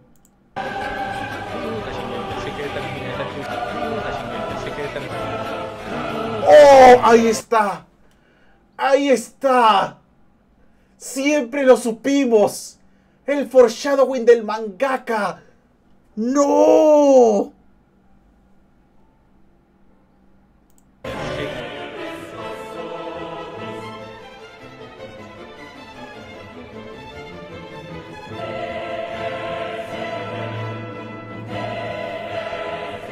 ¿Cómo vas a reaccionar en Twitch, boludo? Querete, boludo.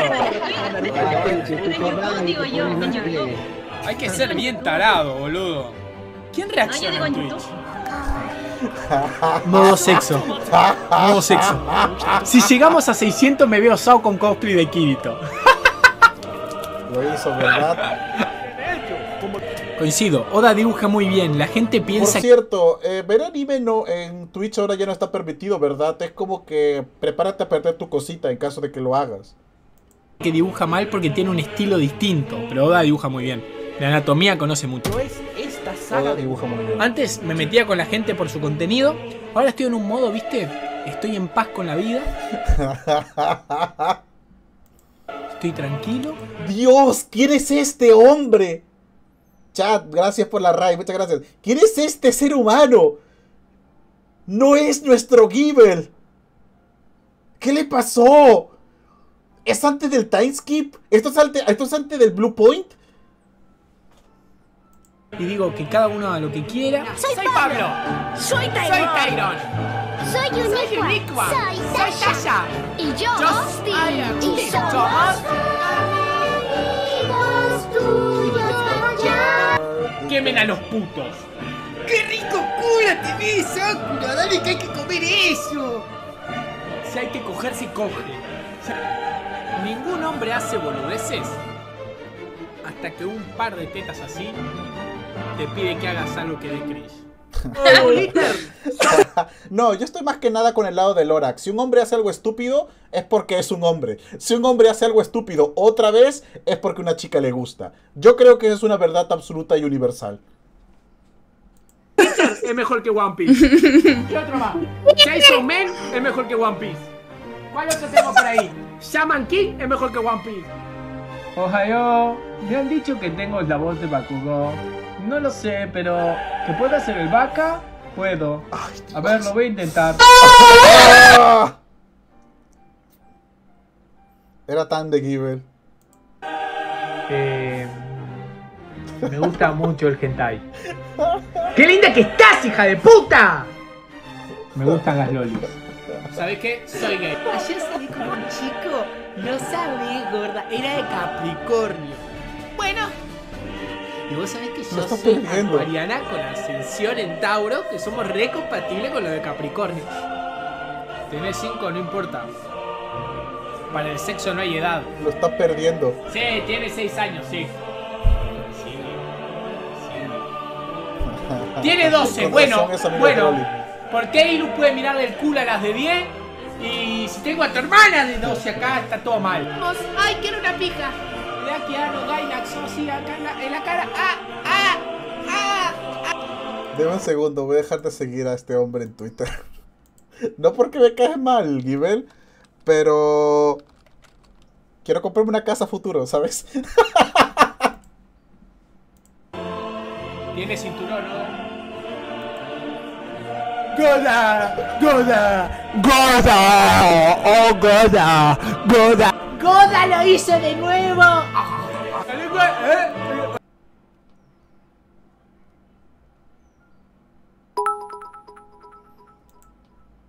Recuerden. Axel 02070 Todos fuimos inocentes alguna vez. Deténganlo, detengan al mangaka, lo está destruyendo, aún puede ser feliz, ayúdenlo.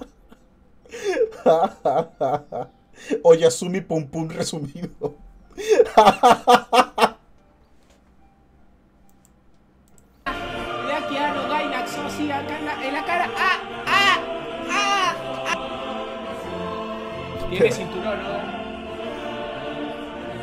¡Goda! ¡Goda! ¡Goda! ¡Nuevo!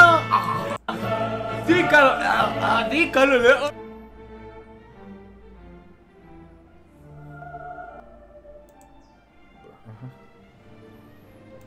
Pregunta seria. Dime.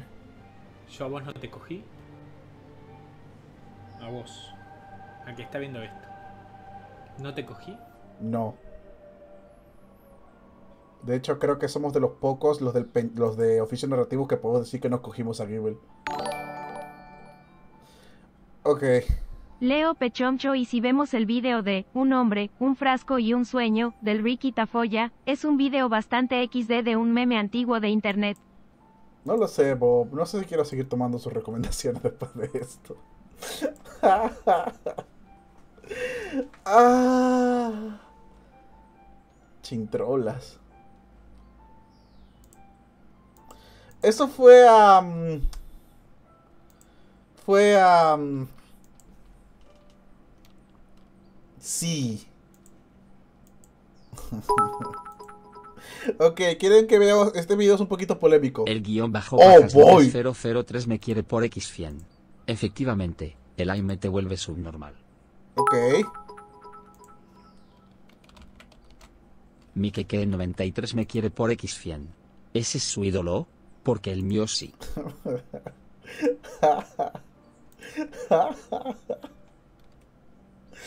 ah. Otome es el mejor anime español de Givel Reviews.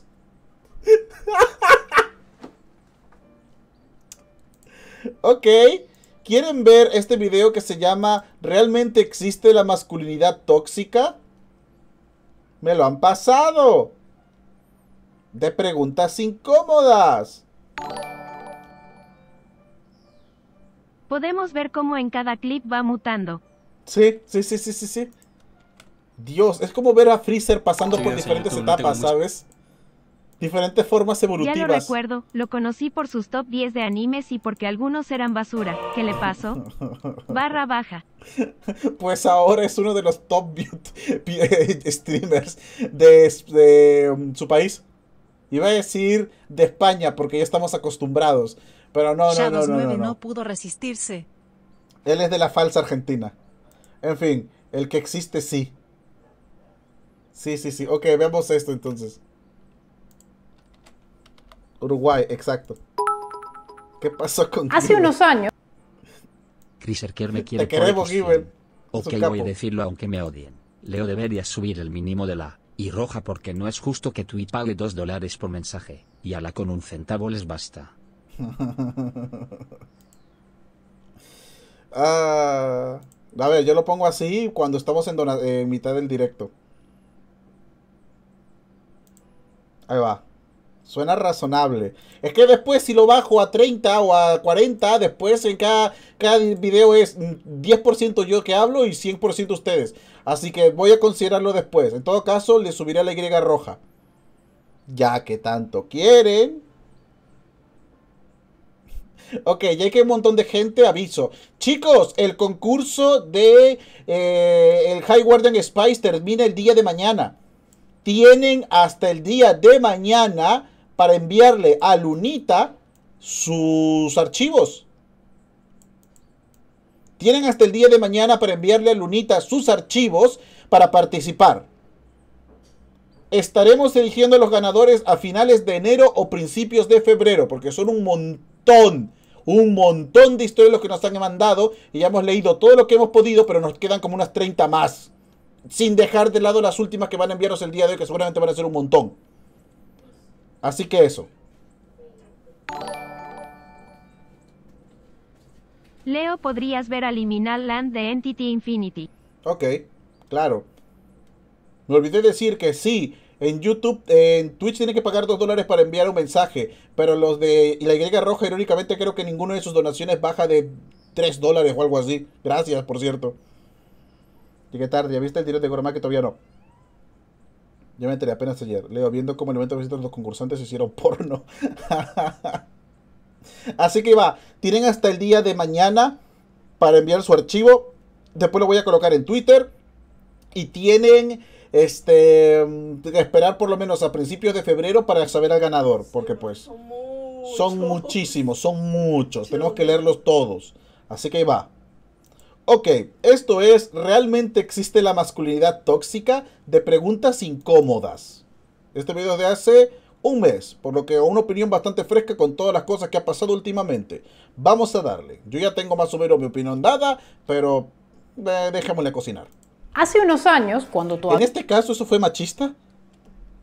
Todavía vivíamos en Madrid, hubo una campaña que hicieron en el metro que molestó a Antonio. Se trataba de un cartel que señalaba a los hombres de hacer manspreading, o como lo tradujeron por esos lares, despatarre masculino. Si sigues sin saber de qué te hablo, no te culpo. con las piernas abiertas. Este es el cartel. El término se refiere a los hombres que se sientan con las piernas abiertas, invadiendo el espacio de los asientos que están al lado. Recuerdo que yo le decía que a mí eso me pasaba mucho cuando se me sentaba un hombre al lado, y él me contestaba que el problema era que el cartel oh, señalaba con un dedo solo. No pudo resistirse. Hola Leo, ¿cómo le va? Hola. Eh, es, el problema de tener huevos, sí. Los hombres como victimarios y a las mujeres como víctimas, que a él también se lo hacían. Además que él no hace eso, ni todos los hombres hacen eso. Y también que la frase cierra las piernas era una petición complicada dada la anatomía masculina. A lo que yo le contestaba que el cartel apuntaba a no abrir tanto las piernas, que si nos basábamos en el argumento de la anatomía, si alguien las abría tanto así como el del cartel, es que tendría los genitales de un caballo. Pero luego me dejé de chistes y entendí mejor qué me quería decir pues la campaña fue bastante controversial. Usuarios publicaron fotos como estas en las que apuntaban a cómo las mujeres podemos también ocupar más de un asiento. La imagen a la derecha es bastante común, la de la izquierda no tanto. Quizás la mujer estaba estirándose antes de un maratón o haciéndose una selfie para su OnlyFans, yo qué sé, pero yo nunca he visto a mujeres sentadas así. El punto es que lo del despatarrado claramente apuntaba a un comportamiento ligado al género masculino, a una masculinidad tóxica. En este video nos hemos propuesto contestar a la pregunta sobre si existe la masculinidad tóxica. Parece una pregunta necia, pero no lo es, porque dependerá de muchas cosas tu respuesta, tu género, tu experiencia de vida. hoy es mi cumpleaños, haz voz de su promedio. No, no es, no es tan complicado. Sí existe la masculinidad tóxica, claro. Hay gente que es idiota siendo hombre, al igual que también existe el feminismo tóxico. No es factores sociales ni nada por el estilo. Es simplemente entender que hay cretinos en ambos grupos. No creo que sea tan complejo y creo que uno de los principales problemas de por qué la gente se la para peleando a cada rato es porque quiere tomar una pregunta que se puede responder fácil con un sí, no o una explicación corta de medios de 5 segundos y convertirlo en vamos a hacer de aquí este varios libros hay que ir alquilando lo que va haciendo este, los estadios para comenzar a hacer los debates. No lo digo por ella, ya digo por cómo la gente suele tratar este tipo de cosas. Hola, hola. Unidades políticas. Te contaré qué dicen los expertos y personalidades públicas al respecto y por qué. Oh, wow, sí, las personalidades públicas, los mayores expertos. Es lo que quiero para que me definan la sexualidad. Un idiota que se la pasa 24-7 quitándose la camisa. Es lo único por lo que es popular. Seguramente él va a poder darme la solución a todo esto tema que nos involucra a todos, no solo a los hombres. Así como la campaña del Metro de Madrid, que por cierto las hubo padecidas en varias ciudades de Estados Unidos por lo mismo, hay otras que fueron polémicas, como la de Gillette de 2019, que señalaba el bullying, la violencia, los abusos sexuales que se derivan de los comportamientos de algunos hombres amparados bajo la frase los hombres son hombres. O sea que son varias las características masculinas y que no tienen por qué cambiar. Otras publicidades apuntaban a que hay muchas maneras de ser hombre. Leo, sé machista, déjala cocinar.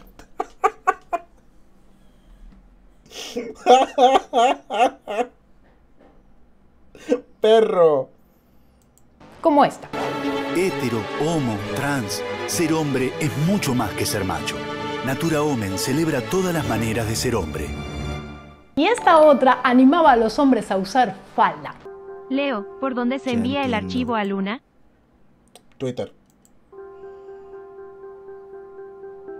Ahora quiero entender otras cosas.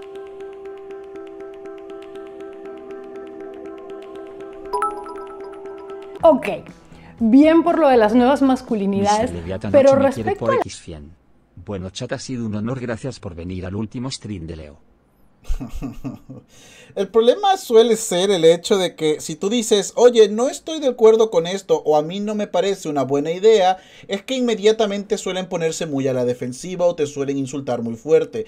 Pero eso también es verdad porque decides compartir tu opinión en internet y en Twitter quien no tiene una opinión fuerte y una idea de que todo el mundo es tu enemigo la falda, no creo que todos estén listos para esta conversación, aunque conociéndome quizás la retome después. En todo caso, ¿qué es la masculinidad tóxica y por qué hay gente que dice que no existe? En un estudio del Journal of School of Psychology, la masculinidad tóxica es definida como la constelación de rasgos masculinos socialmente regresivos que sirven para fomentar la dominación, la devaluación de la mujer, la homofobia y la violencia sin sentido. Llevamos 30 años ya hablando de masculinidad tóxica, un término que cuenta con el apoyo de psicólogos clínicos, académicos y feministas, aunque fue tras el Me Too que el tema cobró fuerza. Bueno, Y también gracias a personajes como The Don y sus grandes frases para el recuerdo.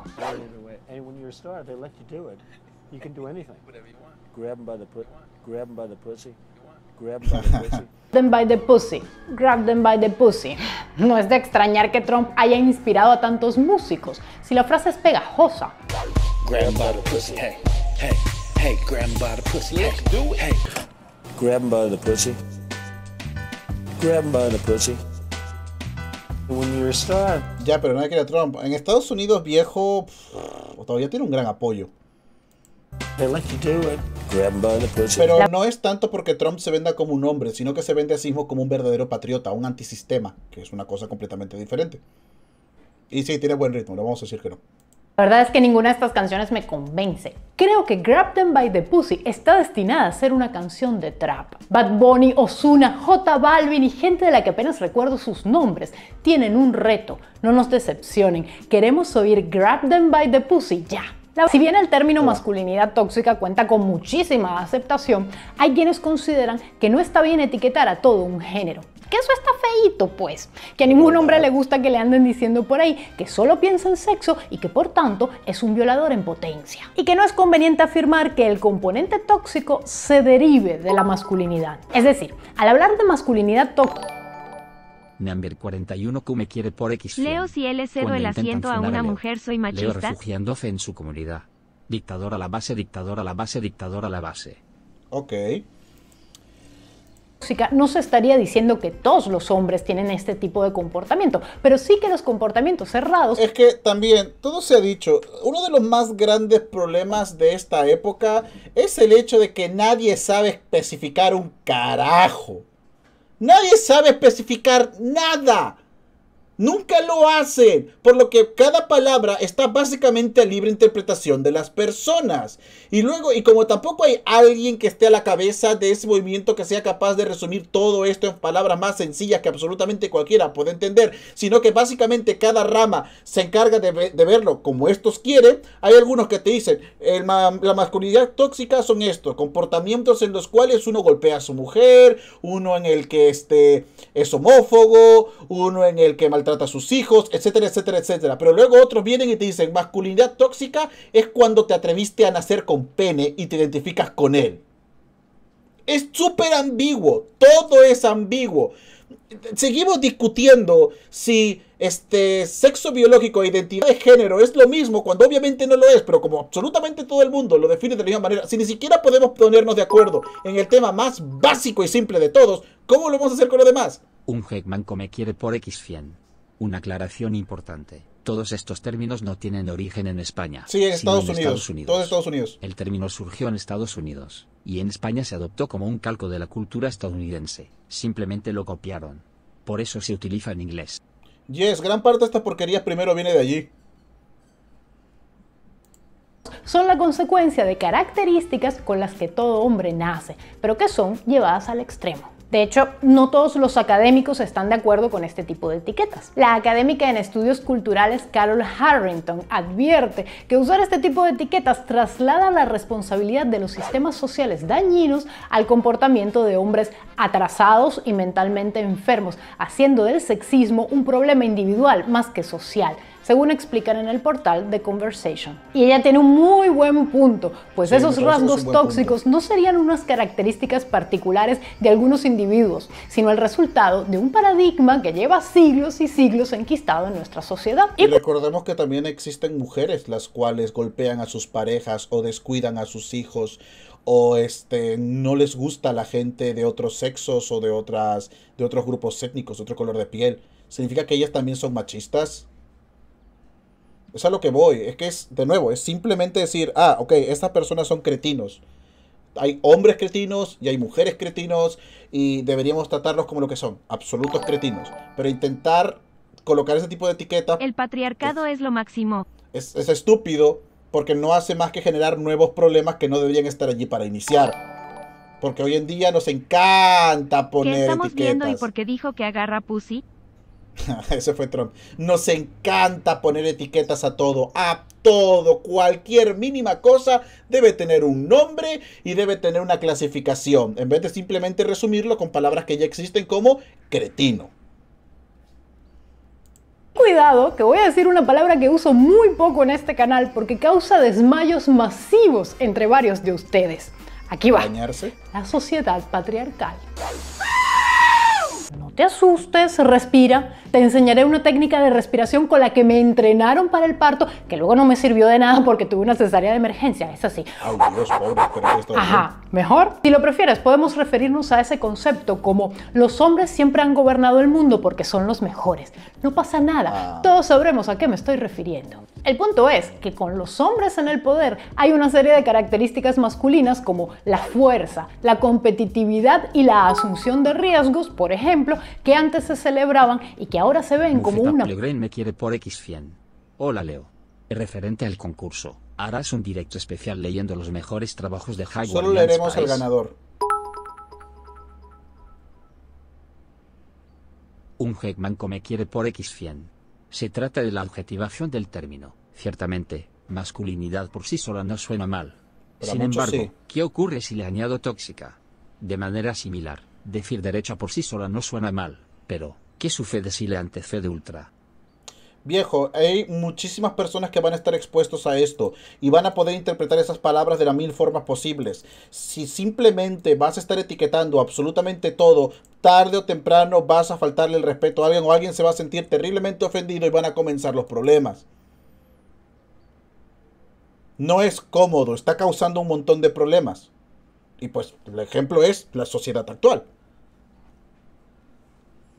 Y sí, antes estas actitudes eran em, apreciadas. El ser humano es estúpido y fin. Nah. Nah, no somos estúpidos. Solamente estamos viviendo en una generación complicada que todavía no se entiende a sí misma. Eso es todo. Yo quiero pensar que la humanidad está en su adolescencia, ¿sabes? Que recién nos estamos explorando y viendo cuáles van a ser los límites de nuestra sociedad que, las, que este, la cosa esté yendo mal ahora no significa que nunca antes había ido mal o que nunca antes nos habíamos planteado preguntas así o estupideces así. Simple y llanamente es lo que nos tocó vivir y nuestros hijos tendrán otras tonterías de las cuales hablar y sus hijos de sus hijos tendrán otras tonterías de las cuales hablar y los hijos de nuestros hijos tendrán otras tonterías de, cada, de qué hablar porque cada generación quiere ver pues este tipo de temas o quiere explorarse a sí misma. Ahí va en mi muy, muy, muy humilde opinión, así es como yo lo veo. No creo que la humanidad sea estúpida. Ninguna sociedad que sea considerada estúpida crearía un McDonald's donde no venden donas. Pero en fin, sí, antaño estas eh, actitudes eran reconocidas y apreciadas. ¿Por qué? Porque era importante para permanecer con vida. Necesitabas líderes fuertes, decididos y despiadados que mantuvieran sus terrenos bajo control y que pudieran expandirlos. Pero hoy en día ya no es así, porque ya todos nos hemos establecido como tal posible amenaza. ¿Pero qué cambió? Pues aquí tenemos mucho que agradecerle al feminismo. Y de nuevo, sé que estoy usando una palabra fea, feminismo. feminismo Pero gracias a ese movimiento es que las mujeres ahora votan. Sí, mucha gente dice en plan de los hombres lo hacían todo antes. Claro que lo hacían todo antes, idiota, porque a las mujeres no se les permitía hacer casi nada. Ni siquiera podían aprender a este, ir a la escuela como tal.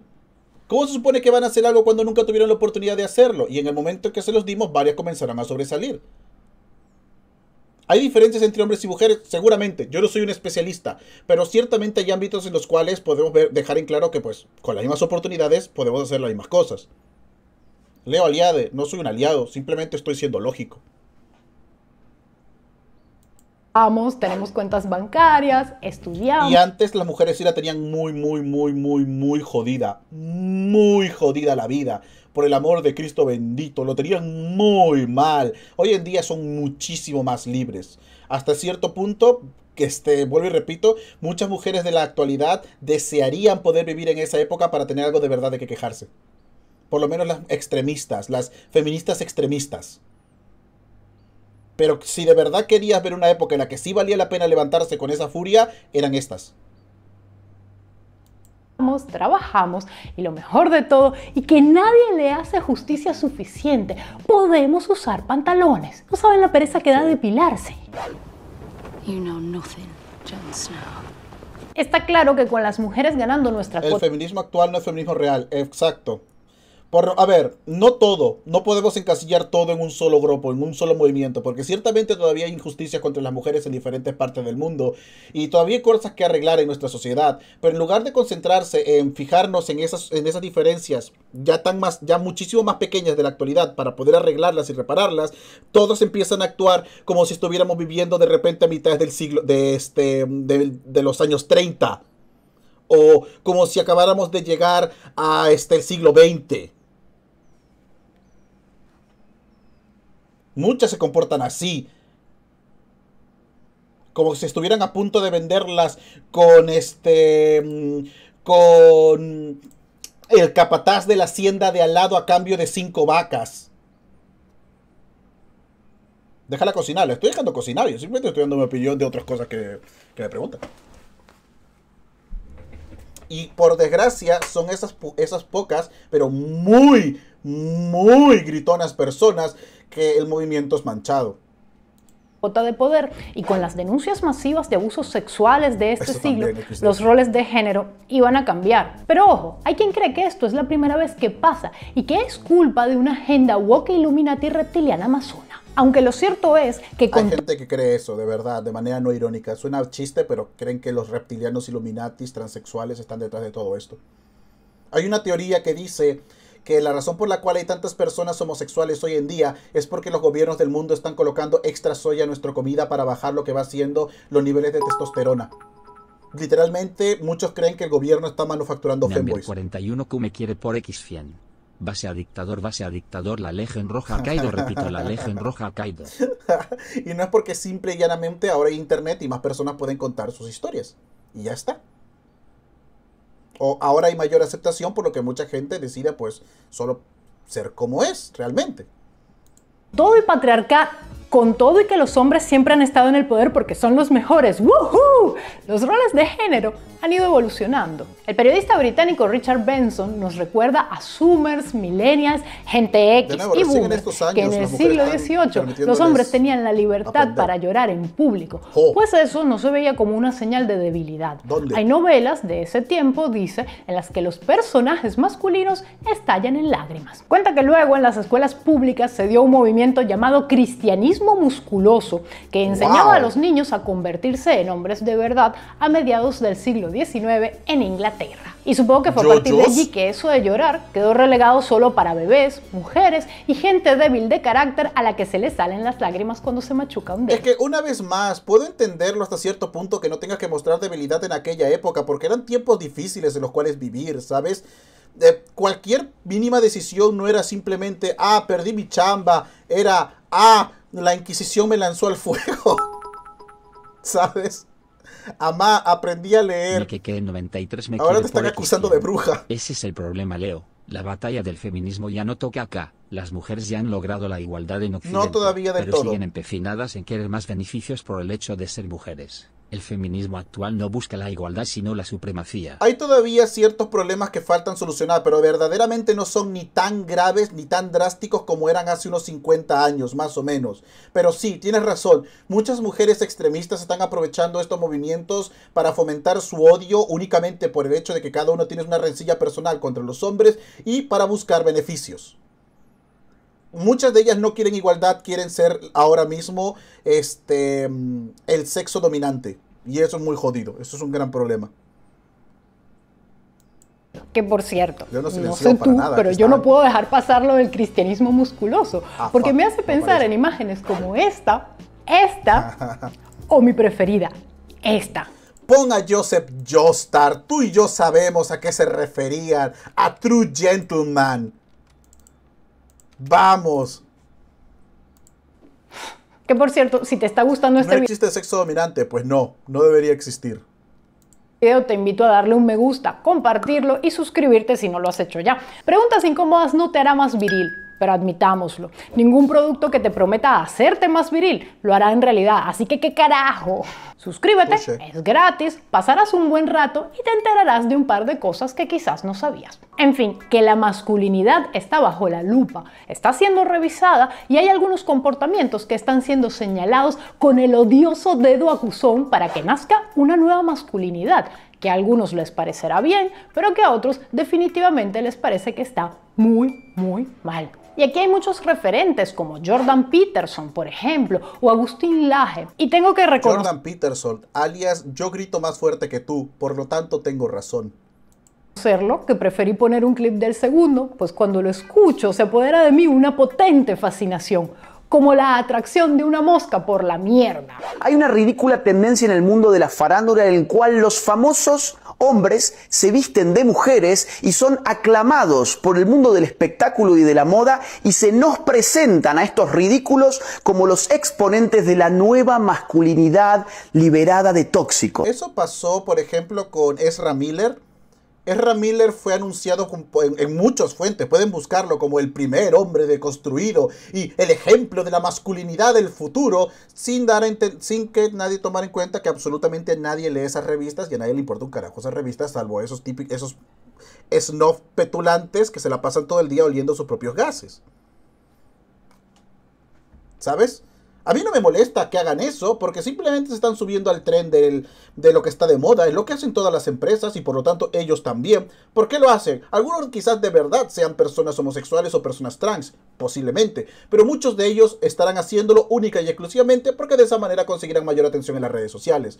No siento que enojarnos con eso valga realmente algo la pena, porque una vez que eso pase de moda harán otras cosas. El Hawaii Slayer, sí. Pensemos, por ejemplo, en... Como Ezra Miller. A nadie le cae bien Ezra Miller hoy en día. Su película fue un absoluto fracaso. No va a ser el ejemplo de nadie.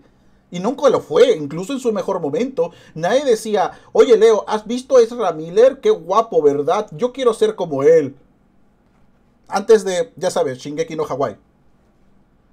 En el caso de Harry Styles el ex One Direction. Bueno, Styles fue celebrado en el año 2020 por la revista de moda Vogue por usar un tutú de ballet de color rosado y la revista literalmente nos decía que esa era la manera de combatir la masculinidad tóxica. ¿Cuántos de ustedes compran esa revista?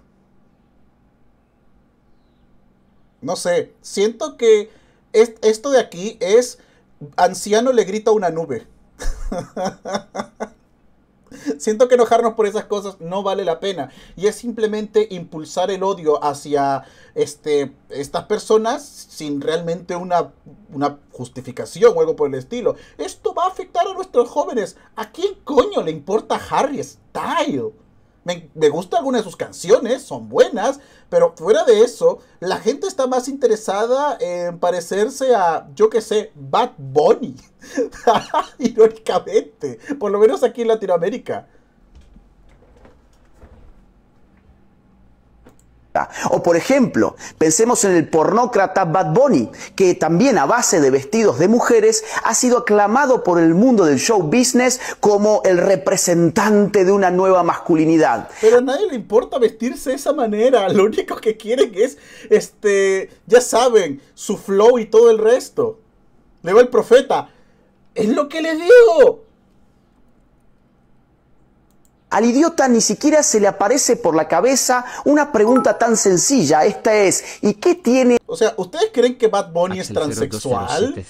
me quiere por X Estás pidiendo mucho si realmente la gente pensaría si no estaríamos teniendo esta conversación y no estaríamos viendo este video. Es porque muchas de las personas que, que se hacen la paja haciendo esto, muchas personas las cuales este, se ponen en plan de esto es una guerra social, son pocas de hecho son pocas, pero le meten miedo a la gente diciendo de que este grupo está mal o este grupo está bien y da a entender de que es algo más grande y más serio de lo que realmente es. ¿Sabes? Podríamos hablar de cómo eso está influyendo en la política. Eso tendría más sentido y sería más preocupante para la gente. Pero a quién le importa cómo salga vestido un quién sabe quién o este tipo en una revista que nadie consume o que tiene poca o cero relevancia en lo que va siendo la verdadera este, visión de la sociedad en Internet. de nueva masculinidad. Sí, es, esto es intentar hacer una guerra, crear bandos para tener más adeptos por ambos lados. Ambos lados, ambos extremos son estúpidos al final del día. Del hecho de vestirse de mujer, algo que ya hacía el glam rock desde los años 1970, y por, otra parte... De hecho, mejor aunque les den promoción ya que cuando caigan se estampan con ganas. De nuevo, cuando esto pase de moda, ellos lo van a abandonar. Y como él mismo lo dijo, esto no es algo relativo, esto no es tan nuevo. ¿Cómo se supone que un vestido de mujer va a combatir rasgos tóxicos de la masculinidad? No lo hace, a nadie le importa. Y más aún, ¿cuáles son esos rasgos tóxicos de la masculinidad que nadie atina jamás a definir? A ver, Entiendo por qué el artículo de Vogue con Bad Bunny sacando pechito molestó a Laje. Claramente él no se vería... Estamos hablando de revistas las cuales... ¿Recuerdan cuando... Creo que no fue Vogue también la que sacó niños con juguetes sexuales? sí, creo que fueron ellos, ¿verdad?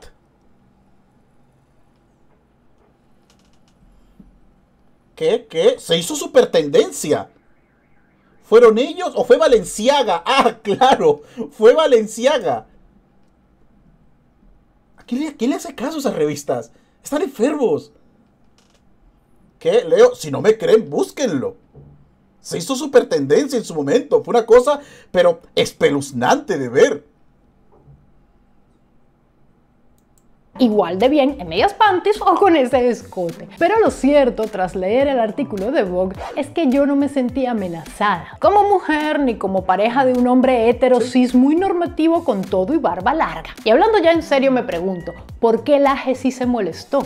Los hombres que se visten de mujer en el mundo son poquísimos y admitámoslo, no es que ostenten un gran poder o haya acaso alguna dictadura travesti en alguna parte de la que yo no me haya enterado. Alguna y también eso de que los gobiernos estén de repente abrazando esto es exactamente el mismo caso. Solo quieren más votantes. Los políticos que apoyan este movimiento porque dijeron, oh, esto está comenzando a tener Amargado, ¿cómo estás? Esto está comenzando a tener mayor aceptación por el público, por lo tanto vamos a ir por este lado. Pero como ahora está comenzando a bajar, cada vez están, podemos hablar más abiertamente de esto, sin temor a ser funados. Y cada vez hay más personas burlándose de esto en medios mainstream, pues poco a poco también va a ir perdiendo la importancia para los políticos.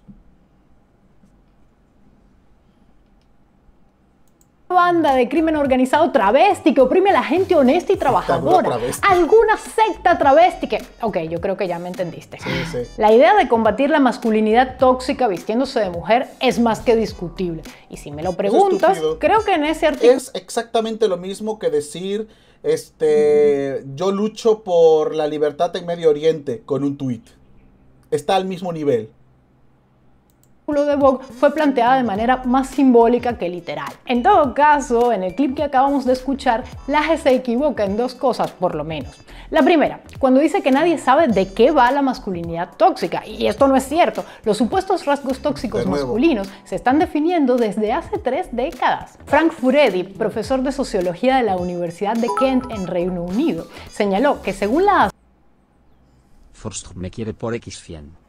En la política es lo único que sí jode porque meten sus leyes eslogan. Y eso va a joder de forma jurídica durante un rato. Sí, es la única parte que jode y es la única parte en la que siento y entiendo que la gente se ponga a discutir sobre el tema. Porque ya es algo que afecta a todo el mundo.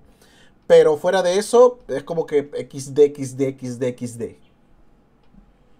Asociación Psicológica Americana, la masculinidad tradicional está marcada por el estoicismo y la competitividad, para luego asociar estos valores con la dominación y la agresión. La APA sostiene que los malos hábitos asociados a la masculinidad, como reprimir las emociones y disimular el sufrimiento, suelen empezar pronto en la vida y son psicológicamente perjudiciales. Y ojo, Furedi escrito... A ver, también hay que, hay que decirlo todo, o sea este, mucha gente dice, los hombres tienen que ser más abiertos con sus emociones. Hombres abiertos con sus emociones. Jaja, míralo. Y primero que lo señala, pues eso. Digamos que eso sería cool en una sociedad idílica donde a la gente de hecho le importasen las personas. ¿Sabes?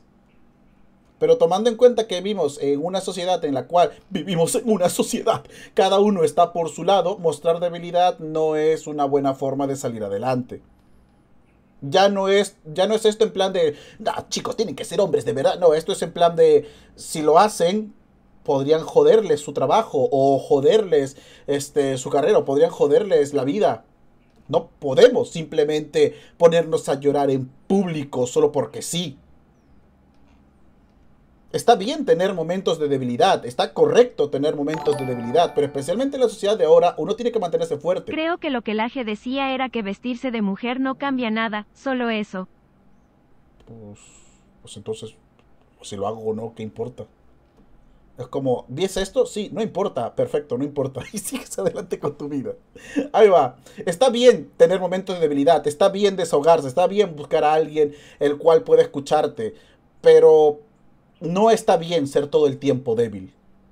No está bien este, ser frágil 24/7. Hay que buscar los momentos. Y esto es tanto para hombres como para mujeres del término masculinidad tóxica y por eso no es muy fan de lo que dice la APA. Pero el punto es que no creo que el problema sea la definición de la masculinidad tóxica, cosa que se ha hecho bastante. Creo que lo que molesta es que estos comportamientos se asocien a la masculinidad tradicional, como decía antes. Y lo segundo en lo que la GC equivoca es que los hombres vestidos de mujeres no es algo que se hace desde los años 70 con el glam rock, sino que es una... 701 me quiere por X pero eso no es de hombres guardar tus emociones es algo normal, y afecta a todos si se refiere a la masculinidad pensaría que se refería a este sector.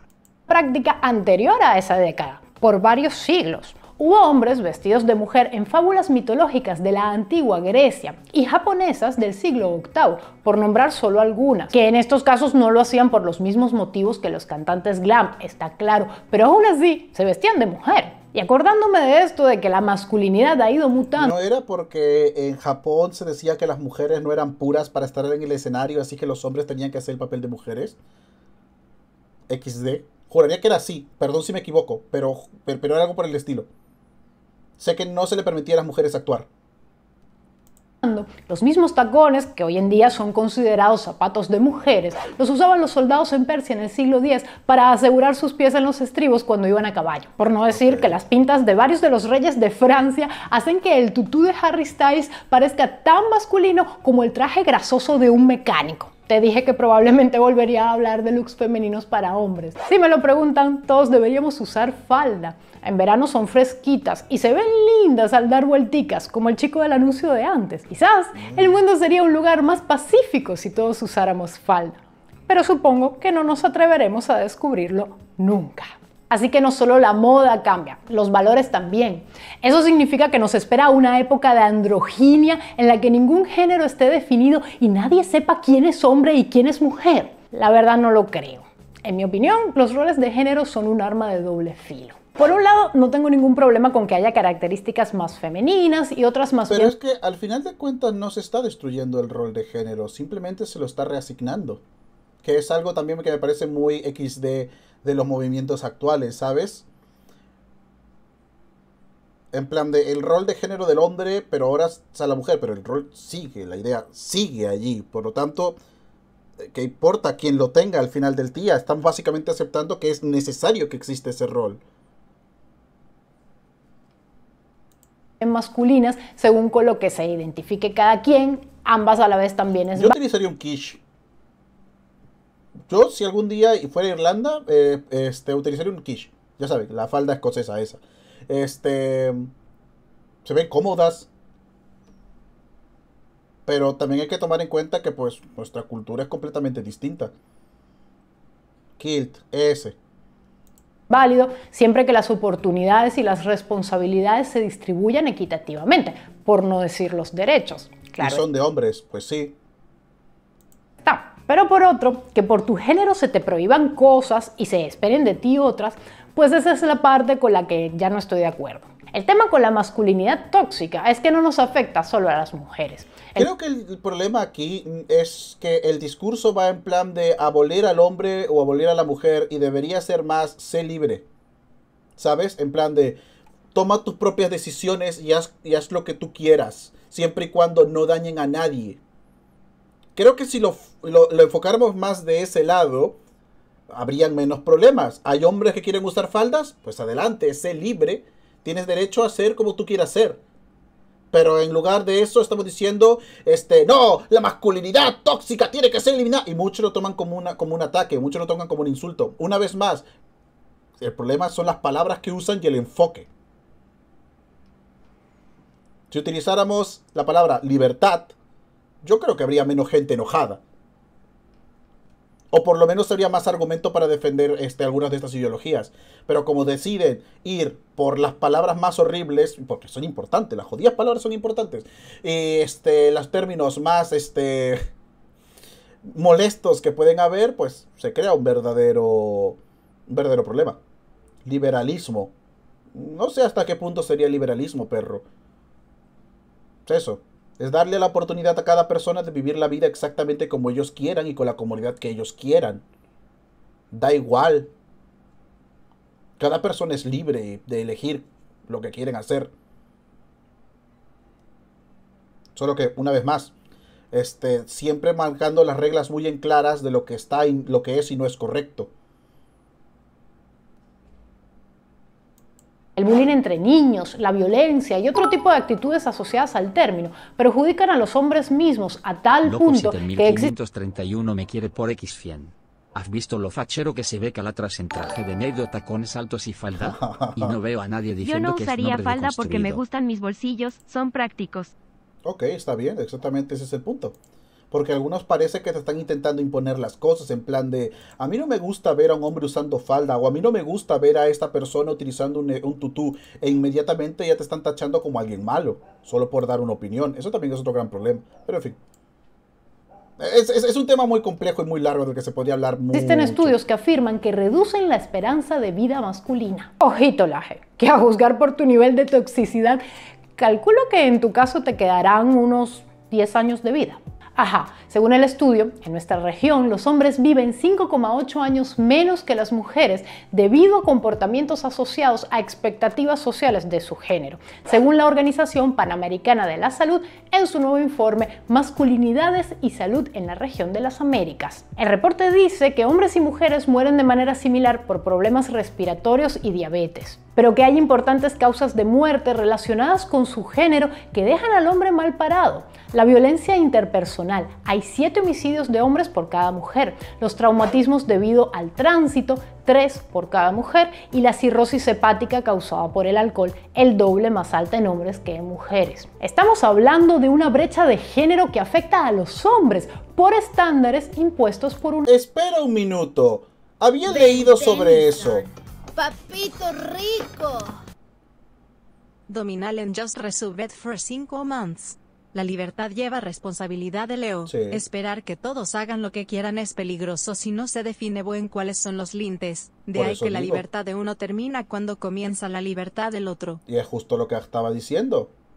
En plan de que hay que dejar que las personas sean libres siempre y cuando nos eh, sepamos que no van a hacer nada malo a otra persona con esa libertad. Hay que marcar los límites y dejarlos muy en claro.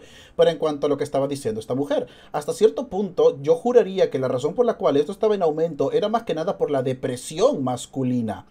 No por las actitudes este, machistas del mismo, sino porque cada vez los hombres están viviendo bajo un mayor estrés debido a, otra vez, los problemas sociales que hay en la actualidad, igualmente provocados por los eh, movimientos feministas más extremos. ¿Sabes? O sea, nadie cae en el alcohol solo porque, ah, soy un hombre, debo tomar alcohol. Muchos lo hacen porque pues están jodidos y es una forma de escapar de sus problemas. No sé, Nuru, ¿cómo estás? El guion bajo Nuru me quiere por X100. El evitar buscar ayuda porque eres fuerte y valiente es algo masculino. Ya, pero eso es algo que se está haciendo básicamente a todas las personas, Hola, Leo, ¿qué estamos viendo y por qué de repente la misoginia y mi lado conservador está saliendo a flote? No lo sé, yo solo estoy dando mi opinión. Es un tema muy, muy peliagudo. Pero Eva, obviamente son múltiples factores, no todo es igual, pero hasta cierto punto tengo entendido que la razón es porque la depresión masculina va en aumento. O sea, todo el mundo está deprimido, las mujeres también, pero ciertamente en el grupo de los hombres es mucho más alarmante. Está como que llegando a límites bastante jodidos. Así que eso. O sea, culpar todo a... Es que las actitudes machistas es un poquito... Mm, mm, ¿Sabes? Debería ser mejor uno de los factores. O un elemento que podríamos tomar en cuenta. Pero... Vamos.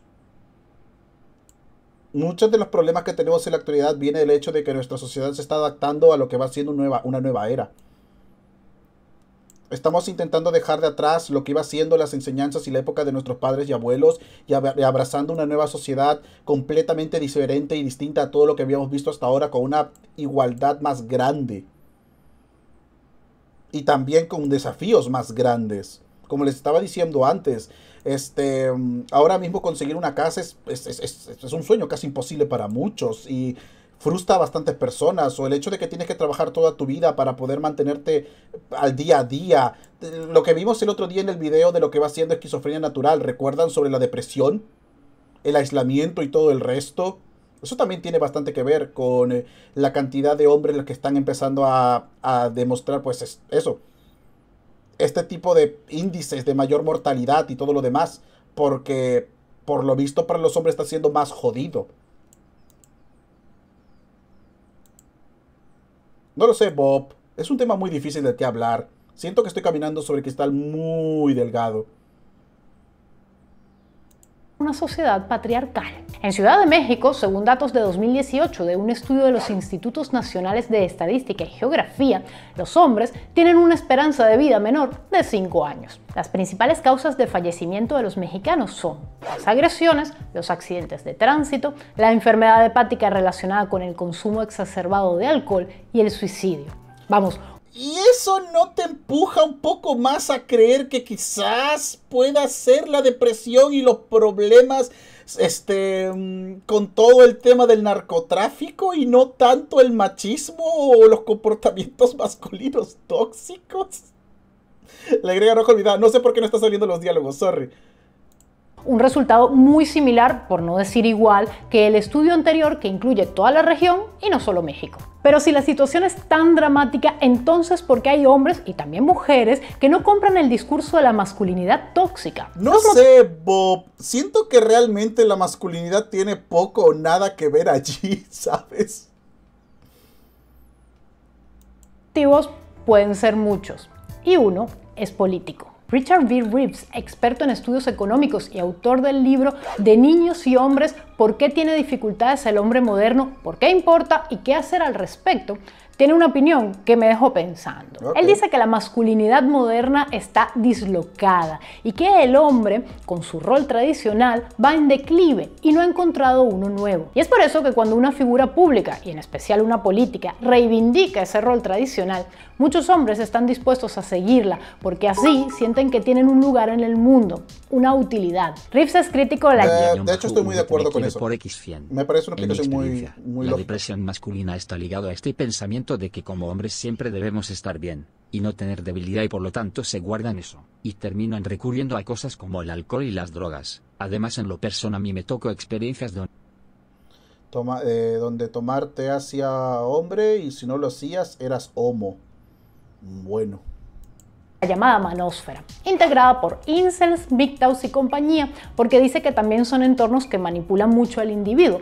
Y lo interesante es que mientras señala toda esta manipulación, tampoco es partidario de seguir usando el término masculinidad tóxica, por varios de los motivos que mencioné antes. Sin embargo, le dijo lo siguiente a la BBC, una frase que creo que deberíamos todos mandar a enmarcar en casa. Desde la izquierda esto se aborda así. El problema me quiere por X todos se quejan de la masculinidad tóxica hasta que necesitan que las defiendan de un borracho impertinente en un bar. El problema es que eres tóxico, así que deja de ser tóxico y estarás bien. Mientras que desde la derecha se dice, levántate y busca un trabajo decente, sé un hombre de verdad, sé como tu padre. O sea, ambos lados del espectro político se han adueñado del discurso de género y lo están desvirtuando. Uno está obsesionado con el pasado y otro está obsesionado con el futuro. A ninguno le importa un carajo el presente. Satanizan la masculinidad como tal, como los que no pueden ante la idea de que los roles de género cambian con el tiempo y no hay nada de malo en ello. ¿Y tú qué crees? ¿Existe la masculinidad tóxica? ¿Cómo te ha afectado a ti tu propio rol de género? Te leemos en la caja de comentarios y sin insultos, ¿eh? No seas ah, tóxico. Recuerda dejarme un me gusta, compartir y suscribirte. Y te invito a que te quedes por más con este video que hicimos sobre la pesada carga de ser hombre y los paradigmas imposibles de la masculinidad. Eh, podría ser un buen tema para ver más tarde. Ahí va. Por lo que, eso, ¿cuál es lo que saco de todo esto? Del espacio le llegó algo muy especial que lo atrapó y todos sus secretos él sabrá. Con superpoderes el cambio ya ahora es Ben 10. Y si lo ves, prepárate, pues te sorprenderá. Amigos de el extraterrestre él se convertirá. y por un segundo en su forma cambiará. Es Ben 10. Y cualquier caso resolverá. Vence al mal en cualquier lugar. El miedo nunca lo detendrá. y de los villanos se nos salvará. Hablando de política, y Nardos acaban de secuestrar una cadena de televisión en Ecuador. Era un muy buen show. Lo que noto es que le tira todo a la culpa a los hombres y el machismo cuando la sociedad la componemos todos y todo tiene muchos factores. No, no siento que haya hecho eso en este video, pero obviamente, a ver, no siento que haya culpado a nadie en este video, intentaba más bien explicar algunas cosas, solo que algunos detalles no fueron tomados en cuenta. Y la razón por la que me puse a, cantar el opening de Ben 10 no es solamente porque es un gran show, que una pena como terminó este, desviviéndose de esa manera, sino también porque muchas de las cosas de las que he hablado aquí pueden ser fácilmente, o sea, es wow, ¿no cree que le estamos dando demasiada importancia a muchas y muy pequeñas cosas? Una vez más, puedo entenderlo en el tema de la política, pero después es, estamos peleándonos porque alguien se vistió como una mujer.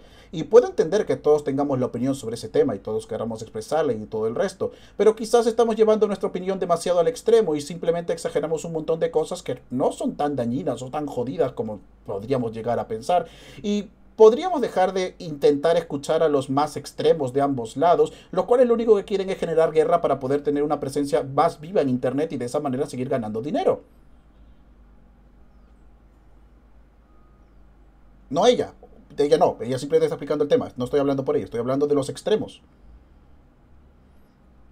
¿Sabes? Quizás nuestro problema está siendo en que le estamos dando demasiada importancia a algo que podríamos explicar de manera mucho, más fácil echarle la culpa a los hombres de la masculinidad tóxica, pero a las mujeres que nos juzgan por ser pocos hombres, ni hablar. Sí, es verdad, eso también pasa. Porque no queremos aceptar que ambos somos imbéciles. Si tan solo pudiéramos dejar de esto de lado y poder decir, oigan, los cretinos existen, creo que sería más sencillo para todos. Pero quizás soy solamente yo que intenta reducir esto. bajo Demos me quiere por X de perrito Parte del problema es que se han desvirtuado las características de tanto el macho, el caballero y el hombre en ambos sentidos, tanto el positivo y el negativo en una sola cosa que ya es casi imposible de separar. ¿Y crees que quizás eso se deba al hecho de que estamos permitiendo que personas estúpidas nos digan cómo deberíamos o no actuar? que en lugar de simplemente señalar los aspectos negativos que absolutamente todo el mundo está de acuerdo, como no debes golpear a tu pareja, este no tienes que engañar a nadie, etcétera, etcétera, etcétera. Y simplemente permitimos que opinión de gente que nos importa un carajo calen en nuestro día a día y en nuestra percepción de nosotros mismos. Quizás lo único que deberíamos hacer es vivir tal y como nosotros nos sentimos cómodos de vivir y actuar de la forma que nosotros nos sentimos cómodos de actuar y estará todo bien, siempre y cuando reconozcamos que esas actitudes no son malas para la sociedad. El guion bajo Nuru me quiere por X100.